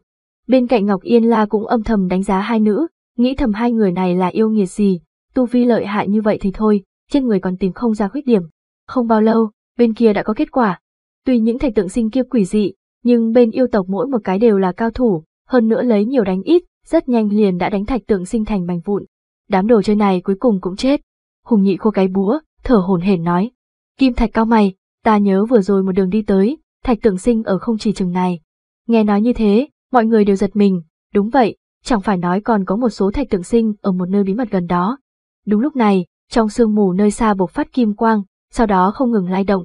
Tiểu mập mạp kia kêu to, hỏng bét, có thứ gì phá hư cờ của ta. Mọi người biến sắc, quả nhiên, nhất định là những thạch tượng sinh còn lại phá hư trận pháp. Mọi người muốn đi bảo hộ cờ, thế nhưng bên kia có sương mù dày đặc, đi vào sẽ rất bị động, chỉ cần bị những thạch tượng sinh kia dính đến thân thể, sẽ mất đi lực hành động, nên không có người dám mạo hiểm. Lúc này sương mù vốn nuôi tán lại dần dần tới gần một chút. Mọi người rõ ràng, một khi những thạch tượng sinh kia hủy cờ, nơi này sẽ bị sương mù bao phủ lần nữa, bọn họ lại ở vào trạng thái bị động chịu đòn. Lúc này mập mạp kia cầm ra la bàn, vốn muốn tính toán một phen, ai biết kim đồng hồ xoay loạn, hiển nhiên đã bị địa thế ở nơi đây ảnh hưởng, không có cách nào dùng. Trong lòng hắn hơi động, nhìn về phía Yến Tuyết Ngân, vị cô nương này, nếu ta có thể xua tan mê vụ ở xung quanh, ngươi có thể tính toán được đường ra chính xác không? Tất cả mọi người theo ánh mắt hắn nhìn lại, đều kinh hãi không thôi, vốn cho rằng vừa rồi cô nương kia chỉ đi loạn, bây giờ nghe ý tứ, tựa hồ nàng tinh thông phương pháp phá trận. Yến Tuyết Ngân hơi hoảng hốt, không ngờ hắn sẽ hỏi mình, trầm ngâm một lát mới gật đầu, có thể. Trong giọng nói toát ra vẻ tự tin. Đám người tắc luân quận chúa, sư linh, hiếu kỳ đánh giá nàng, suy nghĩ nữ tử này đến cùng có lai lịch gì. Lúc này mập mạp kia gật đầu, sau đó trực tiếp đứng dậy, đôi tay nhanh chóng bay múa, ở trên không trung kết ra trận văn phức tạp, sau đó hét lớn, lên. Rất nhiều nguyên thạch lấy tốc độ mắt trần có thể thấy được tiêu hao, ngay sau đó những cây cờ kia bay thẳng lên, tựa hồ toàn thân giấy lên lửa cháy hừng hực. Bốn mươi mấy lá cờ nhanh chóng xoay tròn, bắn ra từng đạo kim quang, để sương mù triệt đề tiêu tán. Trong sương mù truyền đến tiếng gào rú trầm thấp, tựa hồ những thạch tượng sinh kia đang nghĩ biện pháp công kích lá cờ, chỉ bất quá bị hỏa diễm thiêu đốt, trong lúc nhất thời không làm gì được. Đám cao thủ yêu tộc khiếp sợ không thôi, mập mạp này diện mạo xấu xí, lại có thủ đoạn lợi hại như vậy. Không biết xuất thân tộc nào. Rất nhiều đại gia tộc đã bắt đầu lập mưu tìm cơ hội lôi kéo hắn. Lúc này trên đầu bàn tử chảy rất nhiều mồ hôi, hiển nhiên hắn cũng không nhẹ nhõm, lo lắng nhìn về phía Yến Tuyết Ngân. Sau khi lá cờ thiêu đốt không còn, hắn là thật không có cách nào khác. May mắn Yến Tuyết Ngân không để cho hắn thất vọng, nhanh chóng dò xét bố cục và địa hình xung quanh, ngón tay ngọc nắm bắt pháp quyết tính toán, sau đó nhanh chóng bước ra. Đám người tổ an không chút do dự theo sau. Bàn tử cũng vội vàng chạy theo, theo hắn di động, những lá cờ đang thiêu đốt ở xung quanh cũng di động theo, chỗ nó đến, sương mù dày đặc dần dần thối lui, mà chỗ cũ thì bị sương mù dày đặc lấp đầy. Mọi người vốn còn có chút nghi vấn nữ tử kia, thấy thế đâu còn dám do dự, vội vàng bước theo sau. Yến Tuyết Ngân đi ở trước nhất, mọi người theo sau nhìn bóng lưng nàng, không khỏi sinh ra cảm giác si mê. Mọi người nghĩ thầm đây là nữ tử tộc nào, cho dù là thanh khâu quốc chủ nổi danh xinh đẹp cũng không gì hơn cái này. Yến Tuyết Ngân bảy rẽ tám chuyển, có lúc thậm chí đi lên mấy bước, còn lui về sau càng nhiều bước. Cảm giác sắp quay về đường cũ, trong lòng mọi người vốn kinh nghi, nhưng thấy nàng bình tĩnh, bọn hắn lại lựa chọn tin tưởng. Lại thêm nàng áo trắng như tuyết, tóc dài phất phới, phảng phất như tên tử dáng trần. Không ít người ánh mắt cuồng nhiệt. Vân Gian Nguyệt khó chịu, khí chất của băng thành nữ này quả nhiên tới chỗ nào cũng được ưa chuộng, trước kia ở nhân tộc coi nàng như tên tử cúng bái, hiện tại đến yêu tộc cũng như thế, mình có nên đổi tính tình, không biểu hiện ra quá dữ dằn. A Phi, bổn tọa sẽ học nàng. Cũng không biết qua bao lâu, toàn thân bản tử bị mồ hôi ướt đẫm, nhìn kim quang ở giữa không trung lúc sáng lúc tối, biết trận kỳ sắp thiêu đốt hầu như không còn, ta sắp không duy trì được, còn bao lâu nữa? Thanh âm của Yến Tuyết Ngân trong trảo lạnh lùng nói, được rồi. Chân bước ra, trước mắt sáng sủa, mây vụ biến mất không thấy gì nữa, toàn bộ rừng cây khôi phục bình thường, giống như hình ảnh trước đó bọn họ ở bên kia đầm lầy nhìn thấy, an tĩnh đứng sừng sững ở sau lưng, ngay cả những thạch tượng sinh kia cũng an tĩnh đứng ở hai bên đường. Mập mạp đặt mông ngồi dưới đất, lầm bầm, con mẹ nó, xém chút mất mạng nhỏ, lần này đi ra ngoài lỗ lớn rồi. Nghĩ đến vừa rồi thiêu đốt mất 49 cây trận kỳ, hắn liền đau lòng. Mọi người thấy rốt cục đi ra rừng cây quỷ dị, thì nhịn không được hoan hô, có một loại cảm giác tuyệt sử phùng sinh. Yến Tuyết Ngân lại nhíu mày, Vân Gian Nguyệt thấp giọng nói, các người cũng cảm nhận được. Sắc mặt của Tổ An nặng nề, không sai, vừa rồi tựa hồ có tồn tại kinh khủng nhiều lần ở phụ cận thăm dò, nhưng vì sao hắn không xuất thủ ngăn cản. Vừa rồi ở trong mây vụ, bọn họ đều nhạy bén cảm giác được phụ cận có khí tức cực kỳ âm hàn. Thậm chí Tổ An đã chuẩn bị sẵn sàng chiến đấu, đáng tiếc đối phương từ đầu đến cuối không xuất thủ, ngược lại để bọn họ thành công phá trận. Ta cũng cảm giác được nguy hiểm, nhưng không rõ ràng thực lực của đối phương đến cùng như thế nào. Ngọc Yên La dù sao cũng là tộc trường, trong cơ thể có huyết mạch Mỹ đỗ toa, nên lực nhận biết khá mẫn cảm. Ít nhất là Đại Tông Sư. Tổ An trầm giọng nói. Đại Tông Sư? Ngọc Yên La giật mình, vốn nghĩ bằng thực lực của mấy người bọn họ, tới nơi này có thể đi ngang, không nghĩ đến sẽ có Đại Tông Sư. Đại Tông Sư cũng không có gì. Vân Gian Nguyệt lạnh lùng nói. Hiện tại thương thế của ta khá hơn chút, lại thêm chiến lực của Tiểu An Tử, còn có năng lực Mỹ đỗ toa, thật gặp Đại Tông Sư, cũng không phải không có lực đánh một trận. Ta thì sao? Yến Tuyết Ngân tức sạm mặt lại, đối phương cố ý xem nhẹ nàng, nói rõ là gây chuyện. Vân Gian Nguyệt cười ngạo nghễ, người phụ trách ở phía sau phất cờ hò reo là được. Yến Tuyết Ngân. Yêu nữ này thật đáng ghét. Lúc này Vân Gian Nguyệt lại mở miệng, vốn ta không có ôm hy vọng quá lớn với cái gọi là bảo tàng này, nhưng hiện tại xem ra trong này khả năng có đồ tốt. Mặc kệ là rừng rậm quỷ dị vừa rồi, hay tồn tại cường đại trong tối, khắp nơi đều lộ ra nơi đây bất phàm. Lúc này bên kia lại truyền đến tiếng kinh hô, đám người tranh nhau chen lấn chạy về phía trước, nguyên lai phía trước có một ngọn núi lớn, cách thật xa cũng có thể cảm nhận được phía trên nguyên khí nồng đậm, sinh cơ vô hạn. Trên núi tràn ngập kỳ hoa dị thảo, tung bay ra trận trận mùi thuốc, còn có trên cây treo đầy dị quả, hiển nhiên đều không phải phàm vật. Ngay cả Yến Tuyết Ngân và Vân Gian Nguyệt cũng kinh ngạc, nhận ra phía trên có một ít chủng loại chân quý, ngay cả ở Bạch Ngọc Kinh và Thánh Giáo cũng hiếm thấy. Những yêu tộc khác càng giống như phát điên, tranh nhau chen lấn chạy tới. Oanh, một nắm đấm vàng trực tiếp nện ở trước mặt mọi người, kích lên bụi mù đầy trời. Nguyên lai sư linh đã chặn ở trước mặt bọn họ. Rất nhiều cao thủ yêu tộc sắc mặt nhất thời trầm xuống. Sư linh, ngươi có ý gì, chẳng lẽ muốn nuốt một mình? Tuy sư linh tuổi nhỏ, nhưng đứng ở nơi đó chắp tay, mặt mũi tràn đầy kiệt ngạo, không có ý gì, chỉ là thiên tài địa bảo, người tài mới có. Cái này liền phạm nhiều người tức giận, chuyện cười, chẳng lẽ sư linh ngươi cho rằng mình là yêu hoàng, có thể lấy sức một mình chấn áp quần hùng. Sư linh đáp, dĩ nhiên không phải, chỉ bất quá chúng ta trải qua trăm cây nghìn đắng mới đi tới nơi này, những gia hỏa vừa rồi không có xuất lực, có tư cách gì chia đồ. Hắn nói xong, tác luân quận chúa, ngân sa vương tử, kim thạch, trường ninh quận chúa, kiều hằng, hùng đại hùng nhị, mã hoàng, đoàn thiên đức, yên lặng đứng ở bên người hắn, hiển nhiên bọn họ cũng có tâm tư như thế. Bạn đang xem lục địa kiện tiên được thuyết minh tại kênh youtube di các phim. Vừa rồi qua đầm lầy, là bọn họ chính diện chiến đấu, kết quả một số người thừa dịp rảnh rỗi lèn qua, để bọn hắn cực kỳ khó chịu. Sư Linh còn cố ý nhìn Ngô Lương nói, bàn tử ngươi không cần lo lắng, vừa rồi ngươi có công rất lớn, bảo vật có một phần của ngươi.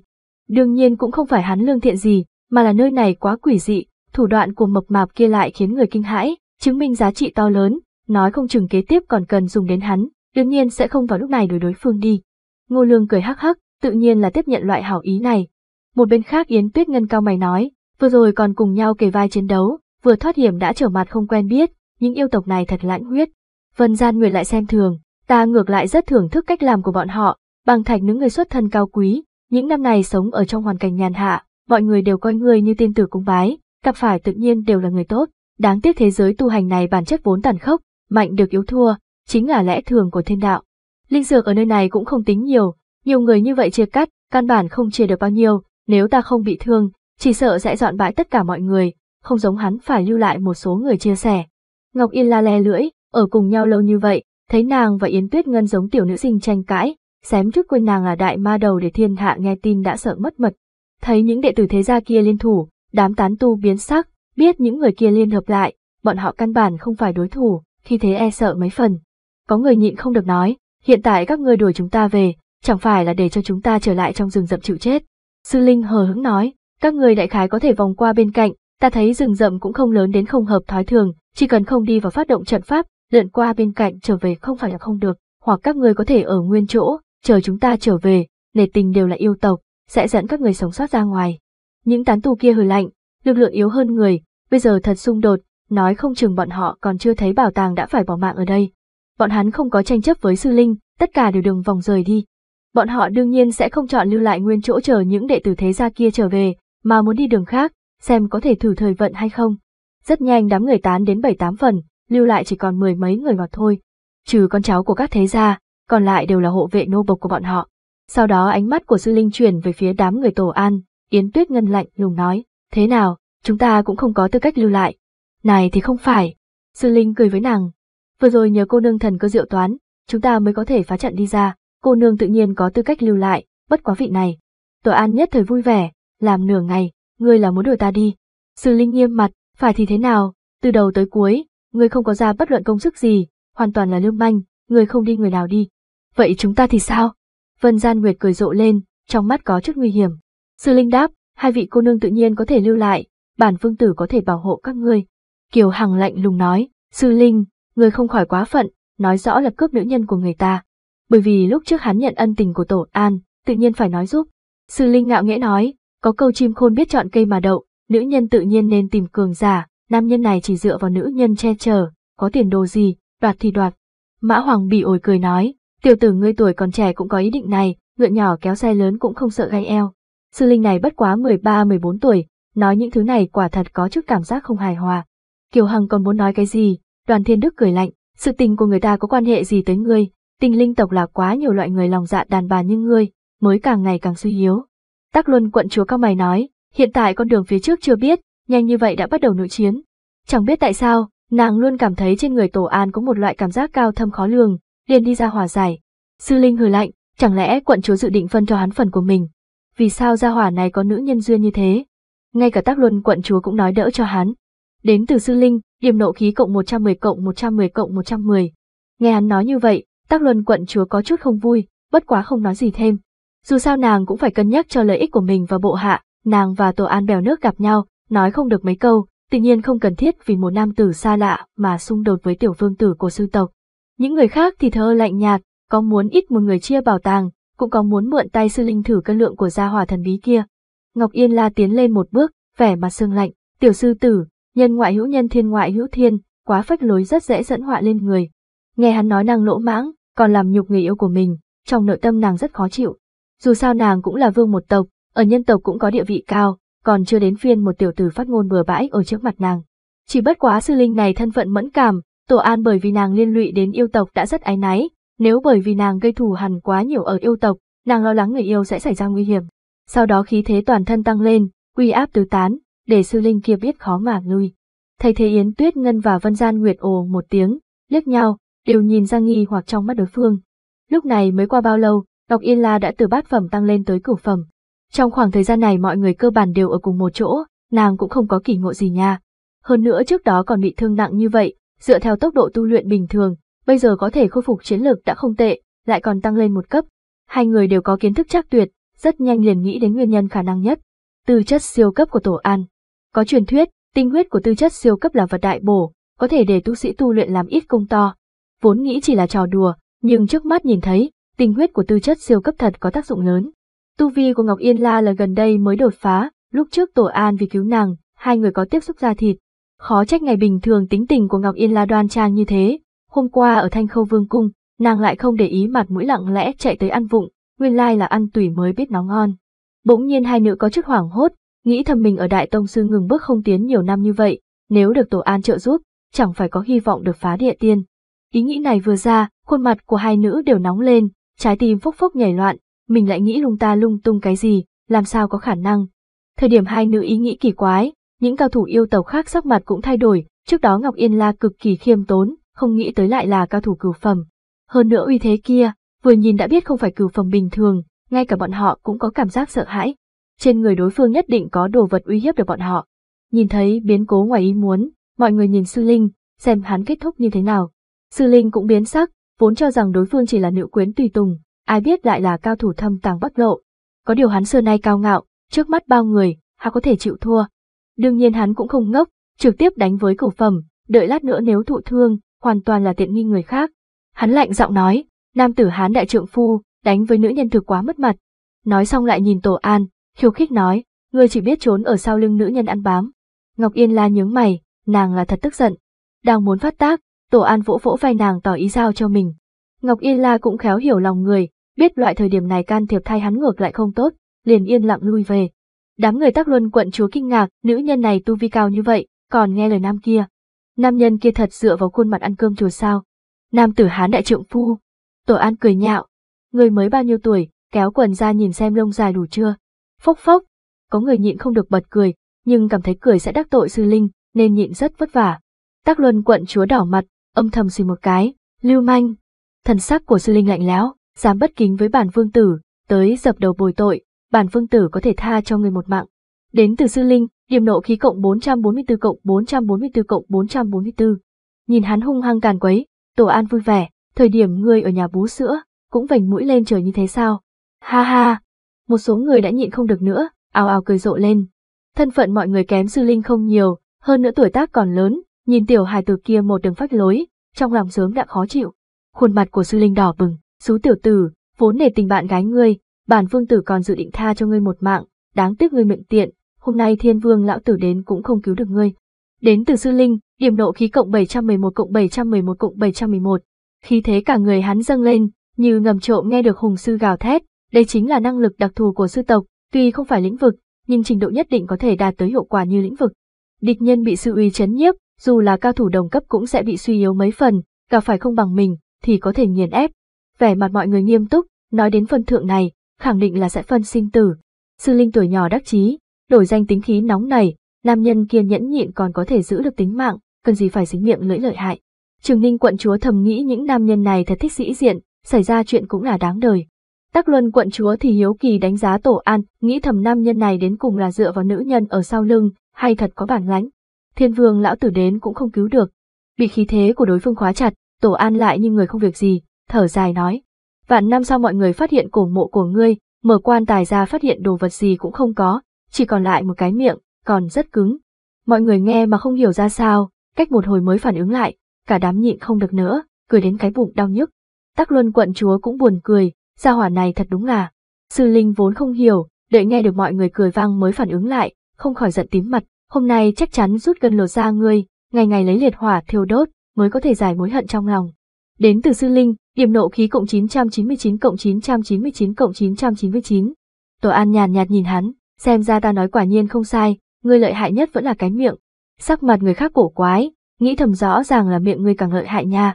Lúc này Sư Linh bình tĩnh lại, dù sao hắn cũng là thiên tài, biết đối phương cố ý làm mình tức giận, ánh mắt băng lãnh như nhìn người chết. Tốt, ngươi đã nói miệng ta lợi hại, vậy ta dùng miệng để ngươi muốn sống không được muốn chết không xong. Đạo sĩ béo trừng mắt, sao nghe bẩn như thế? May mắn sư linh không biết ý nghĩ trong lòng hắn lúc này, bằng không sợ rằng sẽ bỏ qua tổ an, chạy đến tìm hắn tính sổ. Những cao thủ yêu tộc kia biết hắn định làm gì, hiển nhiên là dự định vận dụng sư hống công. Sư hống công chính là tuyệt học của sư tộc, có thể chấn người thành ngu ngốc, nếu tu vi của mục tiêu thấp, thậm chí có thể biến thành xương máu. Mọi người vội vàng tản đến phía sau sư linh, sư hống công là kỹ năng quần cần, bọn họ cũng không muốn bị tay bay vạ gió. Tắc Luân quận chúa lo âu nhìn Tổ An, nghĩ thầm coi như gia hỏa này có chút môn đạo, thì cũng quá khinh địch, lúc này sư linh ôm hận ra tay, sư hống công kinh người như thế nào, hắn rất có thể sẽ bị miểu sát. Kiều Hằng nhịn không được nhắc nhở, cẩn thận. Đáng tiếc đã muộn, thanh âm khủng bố từ trong cổ họng của sư linh vang lên, sau đó hắn há miệng ra, năng lượng khủng bố muốn bộc phát. Đúng lúc này, một thanh âm chiều tức truyền đến, ngươi nhìn cái gì? Sư linh cảm thấy sâu trong linh hồn có xúc động mãnh liệt, bản năng đáp lại, nhìn ngươi thì sao? Vừa nói xong hắn liền sửng sốt, sao mình lại ở thời khắc mấu chốt trả lời như thế? Có điều hắn còn chưa kịp phản ứng, trước đó sư hống công gấp nhặt năng lượng đến miệng lại không phát, đều nứt trở về trong cơ thể, chấn đến toàn thân hắn khí huyết sôi trào, bị thương không nhẹ.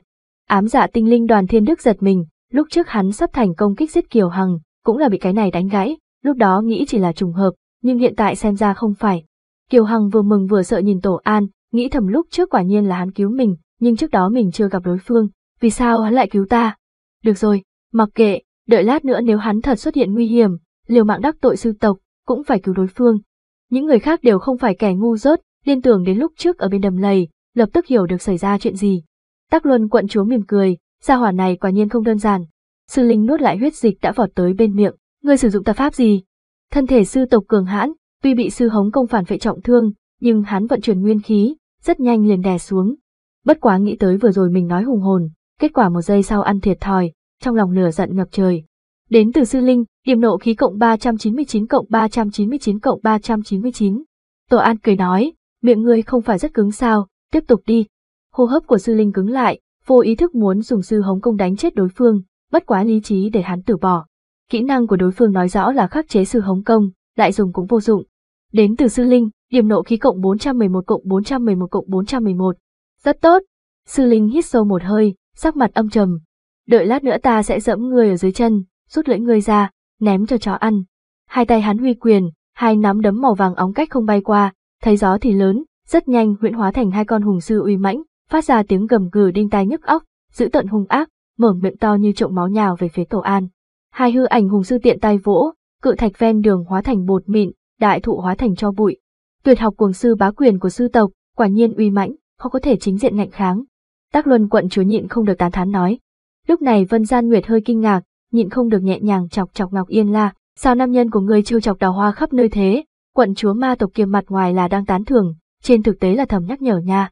Ngọc Yên La hé miệng cười duyên, đây không phải càng tốt sao? À tổ mê lực càng lớn, chứng minh ánh mắt của ta càng tốt.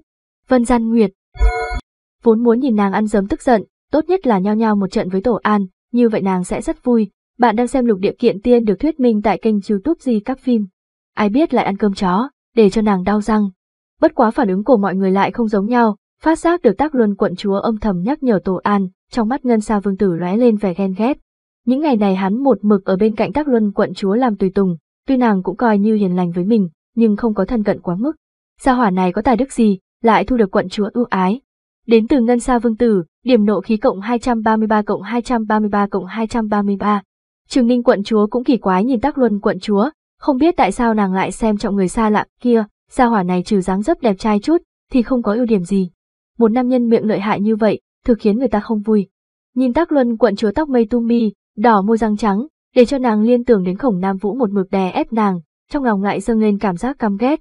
Lúc này ở bên kia, Tổ An nhìn hư ảnh hùng sư gào thét, phất tay đánh ra hai quyền, không khí áp xúc, hai hư ảnh nắm tay nghênh tiếp hai hùng sư. Mọi người kinh hô, gia hỏa này quả nhiên có chút môn đạo, khó trách dám đắc tội sư linh. Bàn tử ngô lương ngồi dưới đất cười tủm tìm nhìn chiến cục trước mắt, nghe người xung quanh nghị luận, tâm nghĩ các người biết cái gì, lần này bảo tàng của đạo gia hơn phân nửa còn phải dựa vào gia hỏa này lấy ra. Trong mắt Tắc Luân Quân quận chúa lại lóe lên vẻ thất vọng, tuy nam tử này xuất thủ bất phàm, nhưng chỉ dựa vào đó đối phó sư linh, chỉ sợ vẫn kém chút. Mình rõ ràng nhắc nhở hắn không nên đón đỡ, kết quả hắn lại tự phụ không nghe khuyên ngăn. Nàng cũng không hiểu chính mình tại sao lại có dạng này tâm tình, chẳng lẽ là chờ mong quá cao à. Lúc này hư ảnh quyền kình và hùng sư va chạm, oanh một tiếng, hai hoàng kim sư tử hào quang ảm đạm, nhưng không có bị đánh tan, ngược lại càng hung ác nhào về phía tổ an. Sư Linh cười lạnh, quả nhiên có chút cân lượng, khó trách dám đắc tội ta, đáng tiếc những năm này thiên tài chết ở dưới tay ta nhiều không biết bao nhiêu, ở trước mặt thiên tài chân chính, các người bất quá là đá kê chân mà thôi. Những cao thủ yêu tộc kia biến sắc, sư linh này quá ngông cuồng, có điều hắn xác thực có tư cách cuồng, chiêu cuồng sư bá quyền này đổi lại bọn họ, cũng rất khó chính diện đón tiếp. Thiên phú của sư linh thật rất kinh người, mới 13 tuổi, đã có thể đạt tới cảnh giới này, tương lai trưởng thành, người cùng thế hệ ai là địch thủ. Kim Thạch thở dài, đổi lại tán tu khác, nếu yêu nghiệt như vậy, đã sớm bị người mạt sát, đáng tiếc đối phương lưng tựa sư tộc, ở yêu tộc cũng là một đại thế lực, không ai dám làm ra sự tình như vậy. Hắn không chỉ tư chất kinh người, hơn nữa có đại cơ duyên, nghe nói khi hắn còn bé, đi ra ngoài chơi đùa, không cẩn thận rơi xuống vách núi, kết quả ở dưới vách núi tìm được bí tịch do tiền bối lưu lại. Ta cũng nghe nói, khi còn bé hắn bơi lội xém chút chết đuối, lại ngoài ý muốn rơi vào trong linh tuyền, có thể tẩy gân phạt tùy, cho nên hiện tại nhục thể mới mạnh mẽ như thế. Ánh mắt đoàn thiên đức lấp lóe, ám dạ tinh linh bọn họ cũng tốt, tinh linh cũng được, ở phương diện thân thể có chút yếu đuối, nếu mình có cơ duyên như vậy thì tốt biết bao. Tư chất của hắn ở sư tộc chỉ có thể xếp thứ hai, nghe nói sư tộc đại vương tử còn yêu nghiệt hơn hắn, kia là tồn tại như thế nào. Trừng ninh quận chúa hưng phấn, nữ tử luôn hâm mộ cường giả, thậm chí trong lòng nàng âm thầm so sánh, sư tộc đại vương tử so sánh với kim ô thái tử thì như thế nào. En, khẳng định là thái tử ca ca nhà ta càng lợi hại. Tắc Luân quận chúa nói, ta từng có duyên gặp qua một lần, sư tộc đại vương tử sư khiêm đúng là thiên túng kỳ tài, thời điểm 12 tuổi đã lực áp thế hệ trẻ tuổi sư tộc, cao thủ thế hệ trước không ra, hắn xem như đánh khắp Tây vực không địch thủ, trong thế hệ trẻ tuổi yêu tộc, Tây Sư, Bắc Hổ, Nam Ma, Đông Long, Thung Hoàng cùng sừng ngũ đại cao thủ, được công nhận tương lai đều có hy vọng đột phá địa tiên. Kiều Hằng cao mày, đáng tiếc trước đó vài ngày nghe nói Trung Hoàng Kim Ô Thái tử bại trận, tựa hồ còn thua ở trong tay một nhân tộc. Lời vừa nói ra, tất cả mọi người đều trầm mặc, tuy trong yêu tộc phe phái đông đảo, cửu oán trồng chất, nhưng đối với các tộc mà nói, nhân tộc là địch nhân chung của mọi người. Thái tử yêu tộc thua một nhân tộc, thực không phải sự tình hào quang gì. Lúc này Trừng Ninh quận chúa hử lạnh, nhân tộc kia hơn phân nửa là dùng âm mưu quỷ kế, thủ đoạn hèn hạ mới thủ thắng, hơn nữa rất có thể là cao thủ thế hệ trước. Tác Luân quận chúa trần chờ nói, thế nhưng theo ta được biết, tựa như là người trẻ tuổi, tu vi mới cửu phẩm. Người trẻ tuổi, mới cửu phẩm. Trường Ninh quận chúa khoa trương cười rộ lên. Kim ô thái tử tu vi gì, đã sắp tiếp cận đại tông sư, những năm này có thể nói đồng giai vô địch, lại có thần khí trong tay, làm sao có khả năng bị một cửu phẩm nhân tộc đánh bại, nhất định là có người dụng tâm kín đáo, tận lực bôi nhọ Kim Ô Thái tử, mới truyền ra những lời đồn như vậy. Mọi người đều khen Trường Ninh quận chúa nói có đạo lý, dù sao dưới cái nhìn của bọn họ, Kim Ô Thái tử xác thực không có khả năng thua một người trẻ tuổi nhân tộc, huống chi đối phương mới cửu phẩm, chuyện này thực quá kỳ quặc, khẳng định có nguyên nhân khác. Nghe mọi người lấy lòng, Trường Ninh quận chúa đắc ý nhìn Tác Luân quận chúa. Tác Luân quận chúa nhíu mày, không nói gì nữa. Lúc này bên kia chiến cục đã có biến hóa, hai hư ảnh hùng sư bổ nhào đến trước người Tổ An, một con táp tới bả vai hắn, một con táp tới hai chân. Hiển nhiên sư linh không muốn giết Tổ An nhanh như thế, mà trước phế tay chân, lại chậm rãi tra tấn. Ai biết Tổ An không chút hoang mang giơ ngón tay lên, nhẹ nhàng đâm một cái. Linh tê nhất chỉ. Phóc. Hai hùng sư uy phong lẫm liệt như bóng cao su xì hơi, trong nháy mắt tiêu tán ở trong không khí. Các cao thủ yêu tộc há to mồm, tác luân quận chúa thì hai mắt tỏa sáng, gia hỏa này làm sao làm được. Phải biết lấy cuồng sư bá quyền cương mãnh, bọn họ cũng không dám đón đỡ, kết quả đối phương dùng một ngón tay liền phá. Sư Linh biến sắc, không còn thần sắc khinh địch như vừa rồi, hét lớn một tiếng, nhảy lên thật cao, hai tay thi triển quyền pháp, lần này thoáng cái xuất hiện chính sư ảnh, từ bốn phương tám hướng đánh tới Tổ An. Hắn lạnh giọng nói, "Sú tiểu tử, ta muốn triệt để dẫm ngươi ở dưới chân, để ngươi biết đắc tội ta là kết cục gì. Kiều Hằng cả kinh nói, tương truyền tu luyện cuồng sư bá quyền tới trình độ càng cao, nguyên hóa ra sư ảnh càng nhiều, sư ảnh càng nhiều, uy lực lại càng lớn, hắn tuổi còn nhỏ đã tu thành chín sư ảnh, rất nhiều cao thủ thế hệ trước của sư tộc chỉ có thể huyễn hóa ra 7-8 con, 9 con đã đủ để vượt qua cảnh giới chấn giết địch nhân. Mọi người cũng cảm thán, thế hệ trẻ tuổi sư tộc gia Tây Sư, lại có yêu nghiệt như sư linh, bọn họ quật khởi đã không thể ngăn cản. Tổ An tự nhiên nghe ra Kiều Hằng nhắc nhở, có điều hắn không thèm để ý, mà thi triển hỏa dưỡng đao, chém những hư ảnh hùng sư kia thành mấy đoạn. Mọi người ngoác mồm kinh ngạc, vừa rồi còn có thể nói sư linh chủ quan, lần này hắn toàn lực xuất thủ, kết quả vẫn như thế, hoàn toàn là bị nam nhân kia nghiền ép. Hắn đến cùng có cảnh giới gì? Mọi người nhất thời như lâm đại địch, phải biết thực lực của bọn họ và sư linh tranh lệch không xa, dù hơi cao hơn chút, cũng là chiếm tiện nghi tuổi tác, đối phương có thể nghiền ép sư linh, chẳng phải cũng có thể nghiền ép bọn họ. Tắc Luân quận chúa không kinh hoàng chút nào, trong mắt dị sắc liên tục, cũng không biết trong lòng đang nghĩ cái gì. Ngay cả Trường Ninh quận chúa cũng thay đổi cái nhìn, ánh mắt nhìn về phía Tổ An nhiều hơn một tê tha thiết. Sư Linh vừa sợ vừa giận, vội vàng kết ấn, nỗ lực vận chuyển lực lượng, nhưng Tổ An sao có thể cho hắn cơ hội, thân hình như điện từ trên trời giáng xuống, trực tiếp đạp hắn xuống, oanh, kích ra vô số bụi mù. Tổ An dẫm lên đầu hắn, cười híp mắt hỏi, vừa rồi ngươi nói cái gì, ta không nghe rõ. Những người khác của yêu tộc ánh mắt phức tạp, ngày bình thường sư linh kiêu ngạo như thế nào, vừa rồi kêu gào muốn dẫm đối phương ở dưới chân, bây giờ lại bị người ta dẫm, khuất nhục như vậy hắn làm sao chịu được được. Luận võ bình thường, thất bại có lẽ không phải đả kích gì, ngược lại còn có tác dụng ma luyện, nhưng loại ở trước mặt nhiều người bị dẫm đầu, nếu không thể đi ra bóng ma, chỉ sợ cả đời sẽ phế. Đương nhiên mọi người chủng tộc khác biệt, thấy sư linh có kết cục như vậy còn cười trên nỗi đau của người khác, dù sao nếu sư tộc có hai thiên kiêu, ngày sau trưởng thành, đối với chủng tộc của bọn họ cũng là uy hiếp to lớn. Chỉ có tác luân quận chúa trong mày, gia hỏa này nhục nhã sư linh như vậy, đây là kết xuống tử thù với sư tộc nha. Mặc dù tu vi của hắn rất mạnh, nhưng khẳng định không phải đối thủ của cao thủ thế hệ trước sư tộc, hơn nữa sư linh còn có ca ca là một trong ngũ tuyệt, tiếp xuống khẳng định sẽ điên cuồng trả thù hắn. Cũng không biết hắn là chủng tộc gì, thế lực gia tộc có thể che chở được hắn không? Thả tiểu vương tử của chúng ta ra. Lúc này mấy tên hộ vệ của sư linh vừa sợ vừa giận, khua binh khí trong tay lao lên. Tu vi của những người này kém xa sư linh, nhưng mấy cái bảy tám phẩm chung vào một chỗ, thanh thế còn rất dọa người. Tổ an lạnh lùng liếc bọn họ một cái, tiện tay hắt tay áo, sóng nhiệt trực tiếp bao phủ, những người kia bị bức phải lui về. Vân Gian Nguyệt thỏa mãn cười cười, tiểu tử này càng ngày càng có phong phạm tông sư. Yến Tuyết Ngân tràn đầy đồng cảm gật đầu, những năm này mình cũng coi như nhìn thấy không ít người trẻ tuổi kinh tài tuyệt diễm, nhưng so với Tổ An lại kém xa, thực lực của hắn bây giờ hoàn toàn có thể tranh phong với cao thủ đời trước.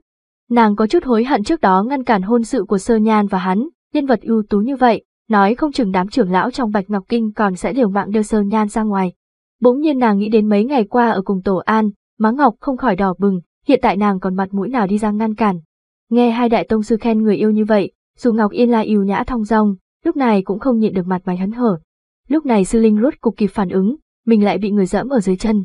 Đến từ sư linh, điểm nộ khí cộng 999 cộng 999 cộng 999. Một cỗ khí thế cường đại dâng lên, tổ an cảm giác dưới chân dị động, thần sắc cứng lại, vội vàng tránh ra. Giống, một con hùng sư xuất hiện ở xung quanh sư linh, bảo hộ hắn ở bên trong. Toàn thân hùng sư kim quang lóng lánh, mới nhìn giống như thực thể, vô luận là khí thế hay uy áp đều cường đại hơn vừa rồi sư linh huyễn hóa ra rất nhiều. Đây là khí tức của binh khí thiên cấp. Những cao thủ yêu tộc kia kinh hô, trong mắt đầy vẻ ghen ghét.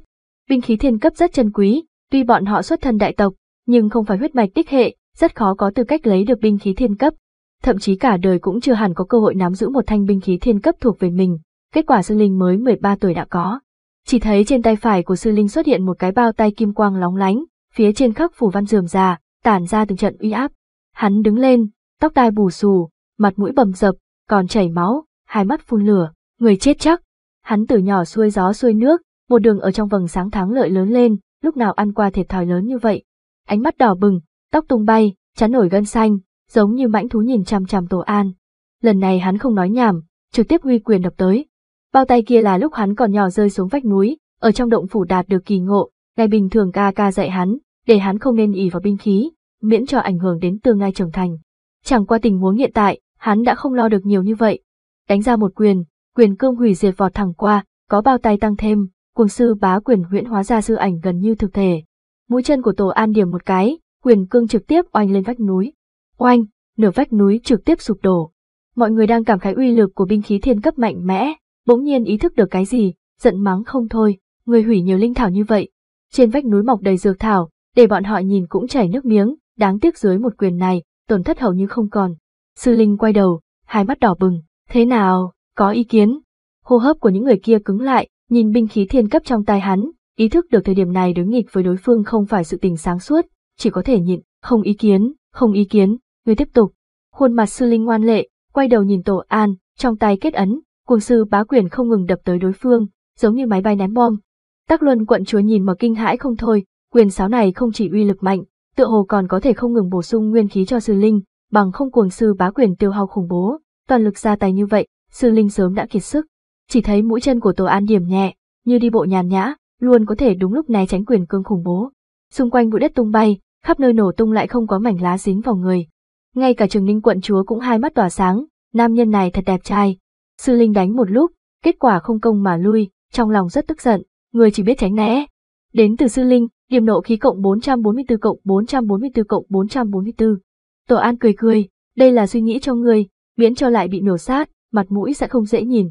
Sư Linh giận tím mặt, ngươi chỉ giỏi mạnh miệng, hiện tại trong tay ta có binh khí thiên cấp, nhìn ngươi có thể tránh tới khi nào. Tổ An thở dài, binh khí thiên cấp rất không tầm thường sao, ta cũng có. Vừa dứt lời, trực tiếp tế ra cả khôn quyền. Cảm nhận được phía trên phát ra uy áp, những người khác hô hấp dồn dập, lại là một kiện binh khí thiên cấp. Trường Ninh quận chúa vốn còn có chút xem thường Tổ An, đôi mắt đẹp lại sốt ruột nhìn hắn, tâm nghĩ lát nữa phải tìm cơ hội giao hảo một phen. Đồng thời nghĩ thầm tác luân quận chúa thật giả hoạt, nhất định là biết tin tức gì mới sớm lấy lòng. Những nữ nhân này thật quá tâm cơ. Lúc này càn khôn quyền đã trực tiếp đụng vào bao tay của sư linh. Oanh! Sóng trùng kích mạnh mẽ để mọi người ào ào lui lại. Sư linh đầu kêu ong ong, mơ mơ hồ hồ nhìn thấy một bóng người xông lại, hắn bản năng muốn vung bao tay phòng thủ, lại bị đối phương tay cầm càn khôn quyền đánh vào quỳ trò. Giang rắc, tay hắn vô lực rủ xuống, hiển nhiên xương tay đã gãy. Âm, hắn chỉ cảm thấy mặt tê dần, nguyên lai đầu lại bị người ta dẫm ở dưới đất. Sư Linh liều mạng rằng co, đáng tiếc khí lực của hắn đâu phải đối thủ của Tô An, nội tâm khuất nhục để hắn triệt để sụp đổ, nước mắt kìm lòng không được chảy xuống. Đến từ Sư Linh, điểm nộ khí cộng 999 cộng 999 cộng 999. Nhìn hệ thống thu điểm nộ khí tăng vọt, Tổ An vừa cười vừa nói, ngươi nói ngươi cần gì vội vã bị ta dẫm như vậy, chẳng lẽ ngươi thích loại cảm giác này? Người giết ta đi. Lúc này Sư Linh lòng như trong nguội, có thể tưởng tượng tiếp xuống hắn tuyệt đối sẽ trở thành trò cười của toàn bộ yêu tộc.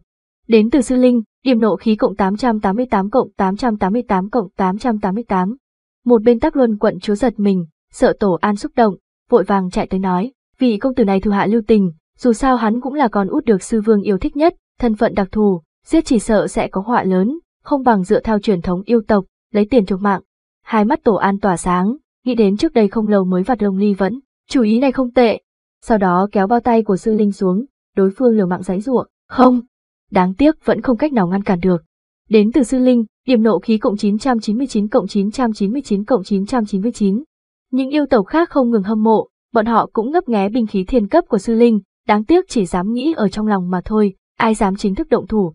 Tổ An lại lấy túi chữ vật của hắn, mở ra, bạn đang xem lục địa kiện tiên được thuyết minh tại kênh youtube Di các phim. Túi chữ vật có ấn ký của chủ nhân, bình thường đến nói người khác rất khó trực tiếp mở ra. Mơ tưởng, sư linh cắn răng nghiến lợi nói, dù sao ngươi cũng không dám giết ta, ngươi biết cha ta và đại ca ta là ai không, khuyên ngươi trả hoàng kim thủ sáo cho ta, bằng không cha ta và đại ca nhất định lên trời xuống đất cũng sẽ nhìn xương ngươi thành cho. Đến từ sư linh, điểm nộ khí cộng 799 cộng 799 cộng 799. Cha ngươi và đại ca ngươi. Tổ an lạnh giọng. Vậy ngươi biết ta là ai không? Sư linh sững sờ, không biết. Lúc này hắn mới ý thức được, hai người đánh nửa ngày, mình lại không biết đối phương là ai. Những cao thủ yêu tộc khác cũng lấy lại tinh thần, gia hỏa này đến cùng là ai. Nữ nhân bên người cả đám đều lợi hại như vậy, vốn cho rằng là tiểu bạch kiểm được nữ cường giả bao dưỡng, kết quả phát hiện nguyên lai hắn cũng lợi hại như vậy. Nghe giọng điệu của hắn, tựa hồ bối cảnh rất lợi hại, thậm chí còn cường đại hơn sư tộc rất nhiều. Trên mặt trường ninh quận chúa hiện ra vẻ hưng phấn, mình nhất định phải nắm chắc cơ hội này, lấy dung mạo và gia thế của mình, hẳn có thể trở thành bằng hữu của hắn. Nếu đằng sau không cách nào trở thành thái tử phi, nam nhân này tựa hồ cũng là lựa chọn tốt. Duy nhất có chút phiền phức là những cô gái bên cạnh hắn tựa hồ đều rất mạnh mẽ. Tác luân quận chúa thì mờ mịt, trong đầu nghĩ tới tất cả nhân vật ưu tú của yêu tộc, nhưng không có người nào tương xứng a. À. Người đến cùng là ai? Sư Linh hỏi ra nghi hoặc của tất cả mọi người. Ai biết Tổ An cười híp mắt đáp, người không biết ta càng tốt, như thế coi như ta giết người, sư tộc cũng không tìm thấy ta. Sư Linh. Mọi người, mọi người vốn còn chờ mong hắn có bối cảnh ngư bức hống hống gì, ai biết chờ đến lại là đáp án như vậy. Vân Gian Nguyệt cười khúc khích, tiểu tử này thật xấu bụng. Yến Tuyết Ngân và Ngọc Yên La bật cười, trong lòng hai cô gái có chút kỳ quái, rõ ràng trước kia, các nàng không thích loại hành vi này, nhưng vì sao hiện tại không chỉ không ghét, còn cảm thấy thú vị. Người đùa bỡn ta. Sư Linh vừa sợ vừa giận, hắn lúc nào bị người trêu đùa như vậy. Đến từ Sư Linh, điểm nộ khí cộng 555 cộng 555 cộng 555. Thần sắc của Tổ An lạnh lẽo, đùa nghịch ngươi thì thế nào, nhanh mở ra, nói không chừng còn có thể mua mạng của ngươi. Hừ, coi như ta không biết thân phận của ngươi, cha ta và đại ca ta cũng có thể điều tra ra. Sư Linh cười lạnh nói. Tổ An nhướng mày, đang muốn động thủ, Vân Gian Nguyệt nhắc nhở, hiện tại trên bao tay còn mang theo khí tức của hắn, hẳn là có thể mở ra túi chữ vật. Hai mắt Tổ An tỏa sáng, trực tiếp đeo bao tay lên, binh khí thiên cấp không phải thần khí, không tồn tại sự tình nhận chủ, tìm tòi vào trong túi chữ vật, quả nhiên thành công mở ra. Bên trong có một đống lớn linh dược, mỗi một cây đều không thua gì trên vách núi. Còn có một đống bình bình lọ lọ, bên trong chứa các loại đan dược, trong lúc nhất thời không kịp cẩn thận điều tra, nhưng có thể được cất ở chỗ này, hiển nhiên không phải phàm phẩm. Các loại nguyên thạch sáng chói đều là thiên cấp, tuy bây giờ Tổ An tu luyện không cần cái này, nhưng thứ này là đồng tiền mạnh của thế giới tu hành, cũng xem như tài phú lớn. Ngoài ra còn có một cuốn gia thú, phía trên vẽ các loại đồ hình, trên cùng có vài chữ to sư Hồng Công. Trong lòng Tổ An hơi động, cái này tựa hồ là pháp quyết tu luyện sư Hồng Công, đồ chơi này là kỹ năng AOE cực phẩm nha, không nghĩ tới còn có thu hoạch ngoài ý muốn. Sư Linh nhìn mà muốn rách cả mí mắt, cha ta và ca ca ta nhất định sẽ không bỏ qua ngươi, dù ngươi chạy đến chân trời góc biển, bọn họ cũng sẽ tìm ngươi ra rút gần lột ra, nghiền xương thành cho. Đến từ Sư Linh, điểm nộ khí cộng 999 cộng 999 cộng 999. Thần sắc của Tổ An lạnh lẽo, dù sao cuối cùng cũng là kết cục này, vậy còn không bằng trước diệt sát ngươi. Cảm nhận được sát ý của hắn, Sư Linh giật mình, có chút hối hận vì sao lại mạnh miệng. Có điều tính tình hắn xưa nay cùng vọng, việc đã đến nước này, hắn cũng không muốn rụt rè để mọi người chê cười. Muốn giết cứ giết, dù sao cha ta và đại ca sẽ báo thù cho ta, người sẽ thảm hơn ta gấp 10 lần. Những cao thủ yêu tộc kia cười trên nỗi đau của người khác, chỉ có Kiều Hằng và Tác Luân quận chúa mở miệng ngăn cản, công tử thủ hạ lưu tình. Tuyệt đối không thể. Tổ An như không nghe được bọn họ nói, trực tiếp vỗ một trường tới đỉnh đầu đối phương a Vân Gian Nguyệt nhịn không được nói. Bình thường hắn không có lòng dạ độc ác như vậy. Điểm này xưa nay nàng lên án rất nhiều, lòng dạ đàn bà quá mức, cho nên hôm nay thấy cảnh này lại có chút mừng rỡ. Yến Tuyết Ngân hơi nhíu mày, nàng xuất thân chính phái không thích giết hại, tuy sư linh chết đáng đời, nhưng nàng lo lắng hơn là từ nay về sau Tổ An sẽ biến thành một người hiếu sát. Ngọc Yên La thì lo lắng, triệt để đắc tội sư tộc, tiếp xuống chỉ sợ Tổ An sẽ có nguy hiểm. Bất quá xà tộc cũng không dễ trêu, sư tộc không quản được nàng, hừ. Đúng lúc này, một cỗ ba động kinh khủng tứ tán ra, sư linh vốn bị áp ở trên mặt đất không thể động đậy bỗng nhiên đưa tay, ngăn lại một kích này. Mặt khác một cỗ ánh sáng màu vàng nổ tung, Tổ An cảm giác được khí tức nguy hiểm, vội vàng thi triển đại phong, thối lui ra ngoài mấy chục trượng, rốt cục đi ra rồi sao?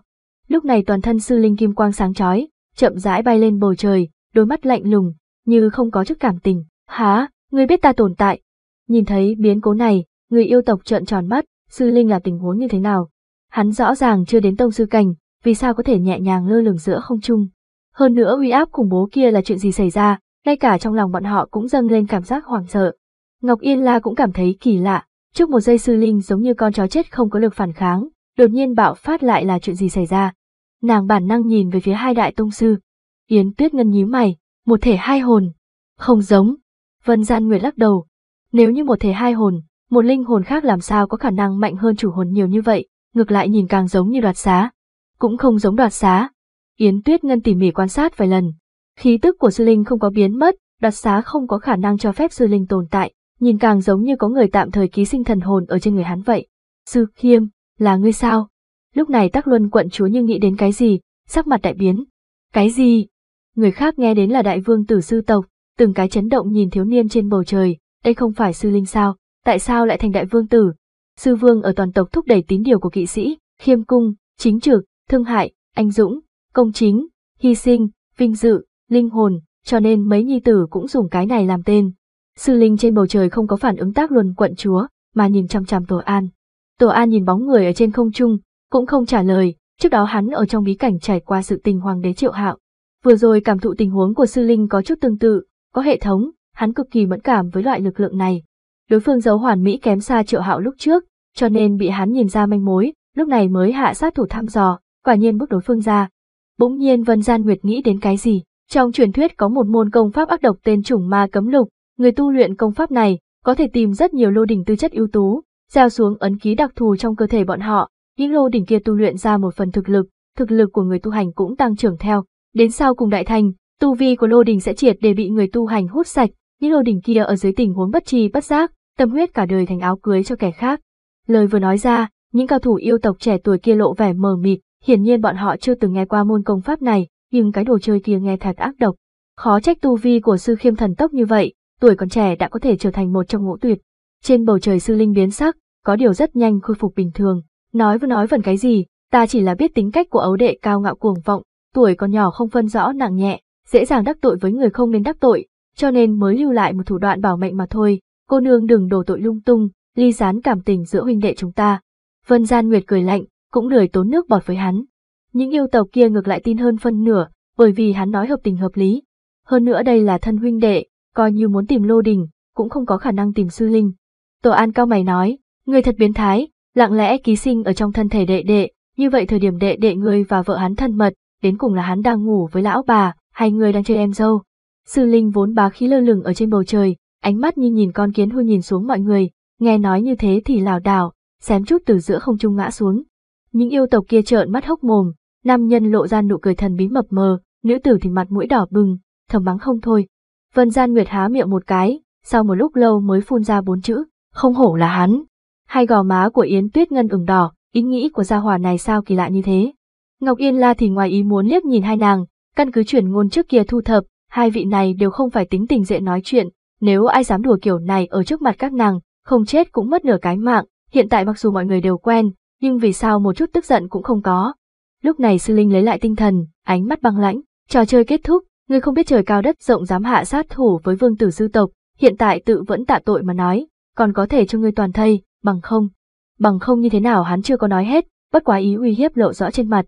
Tổ an thở dài, công phu trên tay của hai huynh đệ các người không ra sao, nhưng công phu miệng lưỡi lại nhất tuyệt.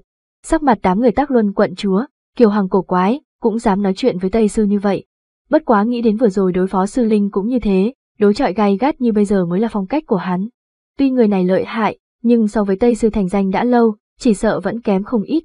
Tuy sư linh ưu tú, nhưng dù sao tuổi còn nhỏ, thời gian tu luyện không dài, đại ca hắn lại không có những khuyết điểm này. Phải biết sư linh từ nhỏ lan xuống vách núi có kỳ ngộ làm người ca ngợi, nhưng đại ca hắn là mỗi năm đều sẽ có một kỳ ngộ tương tự. Tất cả yêu tộc đánh giá hắn là người có đại khí vận, loại người như vậy không có gì bất ngờ xảy ra, ngày sau đột phá đại tông sư là sự tình sớm muộn, cho dù là địa tiên, cũng có hy vọng rất lớn. Những người kia hiển nhiên không coi trọng Tổ An, bất quá vừa rồi hắn biểu hiện ra chiến lược không kém, mọi người mở to hai mắt, muốn nhân cơ hội nhìn xem thủ đoạn của Tây Sư, tốt nhất có thể bước ra kỹ năng áp đáy hòm, như vậy tương lai cao thủ trong tộc đối phó Tây Sư có thể sớm đề phòng. Lúc này ánh mắt của Sư Linh phát lạnh, người thành công chọc giận ta, tốt, ban người cái chết. Đến từ Sư Khiêm, điểm nộ khí cộng 444 cộng 444 cộng 444. Hắn vừa dứt lời, ngón tay nâng lên, một sợi kim quang trực tiếp bắn ra. Những yêu tộc kia cách thật xa cũng cảm nhận được khí tức hủy diệt, trong lòng hoảng sợ, đây chỉ là một sợi thần niệm của Tây Sư, giờ tay nhất chân đã có uy năng lớn như vậy, nếu chúng ta gặp hắn, chẳng phải là bị miểu sát. Thiên nguyên sát chỉ, Tắc Luân quận chúa thân phận đặc thù, kiến thức của nàng tự nhiên cao hơn mấy phần, lập tức nhận ra đây là tuyệt học của Tây Sư. Những năm qua không biết lấy chỉ này chấn giết bao nhiêu cao thủ, uy lực hết sức kinh người. Sư Linh lựa chọn xuất thủ thời cơ cực kỳ xảo diệu, vừa vặn thừa dịp tổ an và chư nữ sau lưng một đường thẳng tắp, như vậy nếu như hắn né tránh, nữ nhân ở sau lưng sẽ bị tai ương. Nếu đón đỡ mà nói, thiên nguyên sát chỉ này ngay cả tứ tuyệt khác cũng không nguyện ý đón đỡ, kẻ trước mắt này tính là thứ gì. Tổ an xác thực như hắn dự liệu, không tránh không né, chỉ thấy hắn chậm rãi giơ tay lên, trong lòng bàn tay có chút mơ hồ, ánh sáng xung quanh tựa hồ sinh ra vặn vẹo, sau đó kim quang bị hút vào trong lòng bàn tay hắn. Tắc Luân quận chúa và Kiều Hằng xém chút kinh hô, tay không tiếp sát chiêu, đừng nói bàn tay, chỉ sợ toàn bộ cánh tay cũng chưa hẳn giữ được. Bất quá để bọn hắn giật mình là, đạo kim quang kia biến mất không thấy gì nữa, như từ đầu tới cuối chưa từng xuất hiện. Mà trên trời sư linh lại như lâm đại địch, vội vàng né tránh, bất quá trên mặt vẫn xuất hiện vết máu. Hắn quay đầu nhìn về phía tổ an, chiêu vừa rồi kia là cái gì? Chiêu chỉ phong cuối cùng này, trước đó hắn thấy đối phương phá giải cuồng sư bá quyền của đệ đệ, cho nên không quan tâm. Xém chút chúng chiêu, là bởi vì quá chấn kinh dẫn đến thất thần mà thôi. Ngược lại là trước đó tay không đón lấy thiên nguyên sát chỉ, để hắn kinh ngạc không hiểu, thậm chí hoài nghi có phải thế giới này xảy ra vấn đề hay không. Nơi xa khóe môi của Yến Tuyết Ngân hơi dương lên, trên người Tổ An có một lực hút cường đại, Lúc trước mình muốn giết hắn, các loại công kích đều bị lực hút kỳ quái kia tiêu trừ hơn phân nửa, bằng không hắn làm sao có khả năng kiên trì lâu như vậy. Hắn ngay cả công kích của mình cũng có thể đỡ được, một hậu bối yêu tộc lại tính là gì. Tổ An đương nhiên sẽ không nói ra thao thiết thôn thiên quyết, cười hì hì nói, muốn biết không, cầu ta đi. Hô hấp của sư linh trì trệ, sao người này hèn như vậy? Đến từ sư khiêm, điểm nộ khí cộng 499 cộng 499 cộng 499. Sắc mặt hắn phát lạnh, toàn thân kim quang trói lọi, ánh sáng mạnh mẽ khiến người ta khó có thể dùng mắt thường nhìn thẳng, khí tức kia như sắp có tận thế hàng lâm. Sắc mặt đám cao thủ yêu tộc trắng bệch, bọn họ đều là người nổi bật trong các tộc, rất nhiều người thậm chí còn không cam lòng mình không bằng ngũ tuyệt, cảm thấy mình cũng có thể phân cao thấp. Lúc này mới hết hy vọng, mình ngay cả một sợi thần niệm của Tây Sư cũng không sánh nổi, kém đến quá xa. Trong tay ngô lương nhanh chóng bắt pháp quyết, tựa hồ tính toán cái gì, dần dần trên mặt lộ ra nụ cười, có người lần này chỉ sợ phải ngã nhào rồi. Lúc này sư linh động, vừa rồi thiên nguyên sát chỉ bị vòng xoáy cổ quái trên tay đối phương tiêu trừ, lại công kích xa thì quá không sáng suốt. Hắn trực tiếp lao về phía tổ an, giống như thiên thạch từ thiên ngoại rơi xuống, đưa tay đánh ra 7749 huyễn ảnh hùng sư. Cuồng sư bá quyền, đây là bản lĩnh giữ nhà của sư tộc, cường mãnh vô song. Vừa rồi sư linh đánh ra chín ảo ảnh đã để mọi người sợ hãi thán phục, bây giờ đến 49 đạo, những yêu tộc ở xung quanh đã chết lặng. Khắp nơi đều ở dưới quyền phong uy áp, cây cối bẻ gãy, cự thạch hóa thành bột mịn. Vân Gian Nguyệt nhướng mày, trực tiếp vung tay lên, xung quanh xuất hiện một vực tràng, bảo vệ hai nữ. Tuy Mỹ đỗ toa của Ngọc Yên La để đại tông sư cũng kiêng kỵ, nhưng thân thể nàng lại không cường hãn, chưa hẳn chịu được, mà Yến Tuyết Ngân thì bị thương quá nặng. Bạn đang xem lục địa kiện tiên được thuyết minh tại kênh youtube Di Các Phim. Lúc này Ngọc Yên La cười với nàng, Vân tỷ tỷ có thương tích trong người, để ta tới đi. Một bức tranh bao trùm chúng nữ, trong nháy mắt đó, chúng nữ tựa hồ như ở trong một không gian đặc thù, ngăn cách thiên địa. Hai mắt Vân Gian Nguyệt tỏa sáng, thế giới trong tranh, cái này giống như có phong cách của tế tử, nguyên lai ngươi là họa thần bí. Yến Tuyết Ngân cũng liếc nhìn nàng một cái, lúc trước mình giao thủ, đã sớm biết. Ngọc Yên La hơi kinh ngạc, kiến thức của Vân tỷ tỷ quả nhiên cao minh, không sai, mong tỷ tỷ giúp đỡ giữ bí mật việc này. Vân Gian Nguyệt vỗ nàng vai, yên tâm, ngươi đã gọi ta là tỷ tỷ, ta làm sao có thể không đáp ứng. Lại nói bên ngoài, sư linh giật mình, hai nữ tử kia là tình huống như thế nào, sao thủ đoạn mỗi người đều cao thâm mặt chắc như thế. Có điều lúc này hắn không rảnh cố kỵ, trước chấn áp nam nhân này lại nói. 49 con hùng sư, tiếng gầm gừ đinh tai nhức óc, thiên địa biến sắc. Sau lưng tổ ăn xuất hiện gợn sóng, ngay sau đó từng đạo kiếm khí từ bên trong bắn ra. Mới đầu những hùng sư kia còn gầm thét chống cự kiếm khí, nhưng rất nhanh liền duy trì không được, quân lính tan rã, bị từng đạo kiếm khí xuyên thủng, trực tiếp đóng đinh ở giữa không trung. Này dù sao cũng không phải bản thể của Tây Sư, làm sao đối phó được thanh loan kiếm trận của Tổ An. Nhìn thấy một màn này, các cao thủ yêu tộc đều hoa mắt, gia hỏa này ngay cả Tây Sư cũng có thể đánh bại. Cho dù chỉ là một sợi thần niệm, nhưng vừa rồi mọi người rõ ràng kiến thức được uy áp khủng bố cỡ nào. Trường Ninh quận chúa hô hấp gấp rút, nam nhân này còn mạnh hơn nàng tưởng tượng, mình nhất định không thể bỏ qua cơ hội. Trong mắt của Tắc Luân quận chúa dị sắc lấp lóe, chiêu kia thật đẹp trai. Đồng thời trong lòng hơi động, sao chiêu kia cảm giác quen thuộc như vậy nhỉ, tựa hồ nghe qua ở đâu rồi. Lúc này sư linh trực tiếp lướt ngang, hắn rõ ràng lấy trạng thái hiện tại tuyệt đối không phải đối thủ, tuy không cam lòng, nhưng vẫn quyết định chạy thật nhanh. Tổ An tự nhiên không nguyện ý buông tha hắn, đang muốn đuổi theo, đã thấy sư linh cách không hút lên mấy bộ hạ sư tộc, ném về phía đám người Ngọc Yên La, Tác Luân quận chúa, Kiều Hằng. Trước đó hắn trong thân thể đệ đệ đã thấy rõ, đám người Ngọc Yên La không cần nói, nhưng Tác Luân quận chúa mấy lần mở miệng nhắc nhở, Kiều Hằng cũng muốn cứu giúp, giữa bọn hắn khẳng định có liên hệ, chiêu này tên là công tác cứu. Thân thể những đệ tử sư tộc kia trực tiếp nổ tung, hóa thành xương máu, bên trong ẩn chứa uy năng lớn lao. Huyết bạo thuật. Người yêu tộc biến sắc, đây là một môn công pháp ác độc, uy lực nổ tung đã đáng sợ, nhưng dù gánh vác được, chỉ cần nhiễm phải vết máu, thân thể cũng sẽ không ngừng hư thối, cuối cùng hóa thành bãi máu sền sệt. Đám người yêu tộc không nghĩ đến thủ đoạn của sư khiêm độc ác như thế, lại nghĩ ra biện pháp này để thoát thân, đều liều mạng thối lui. Người khác còn tốt, cách khá xa, lui kịp thời. Nhưng vừa rồi Kiều Hằng và Tác Luân quận chúa bởi vì quan tâm tổ an, đứng gần phía trước, lại không ngờ sư khiêm sẽ ra tay với bọn họ, nên căn bản không kịp né tránh.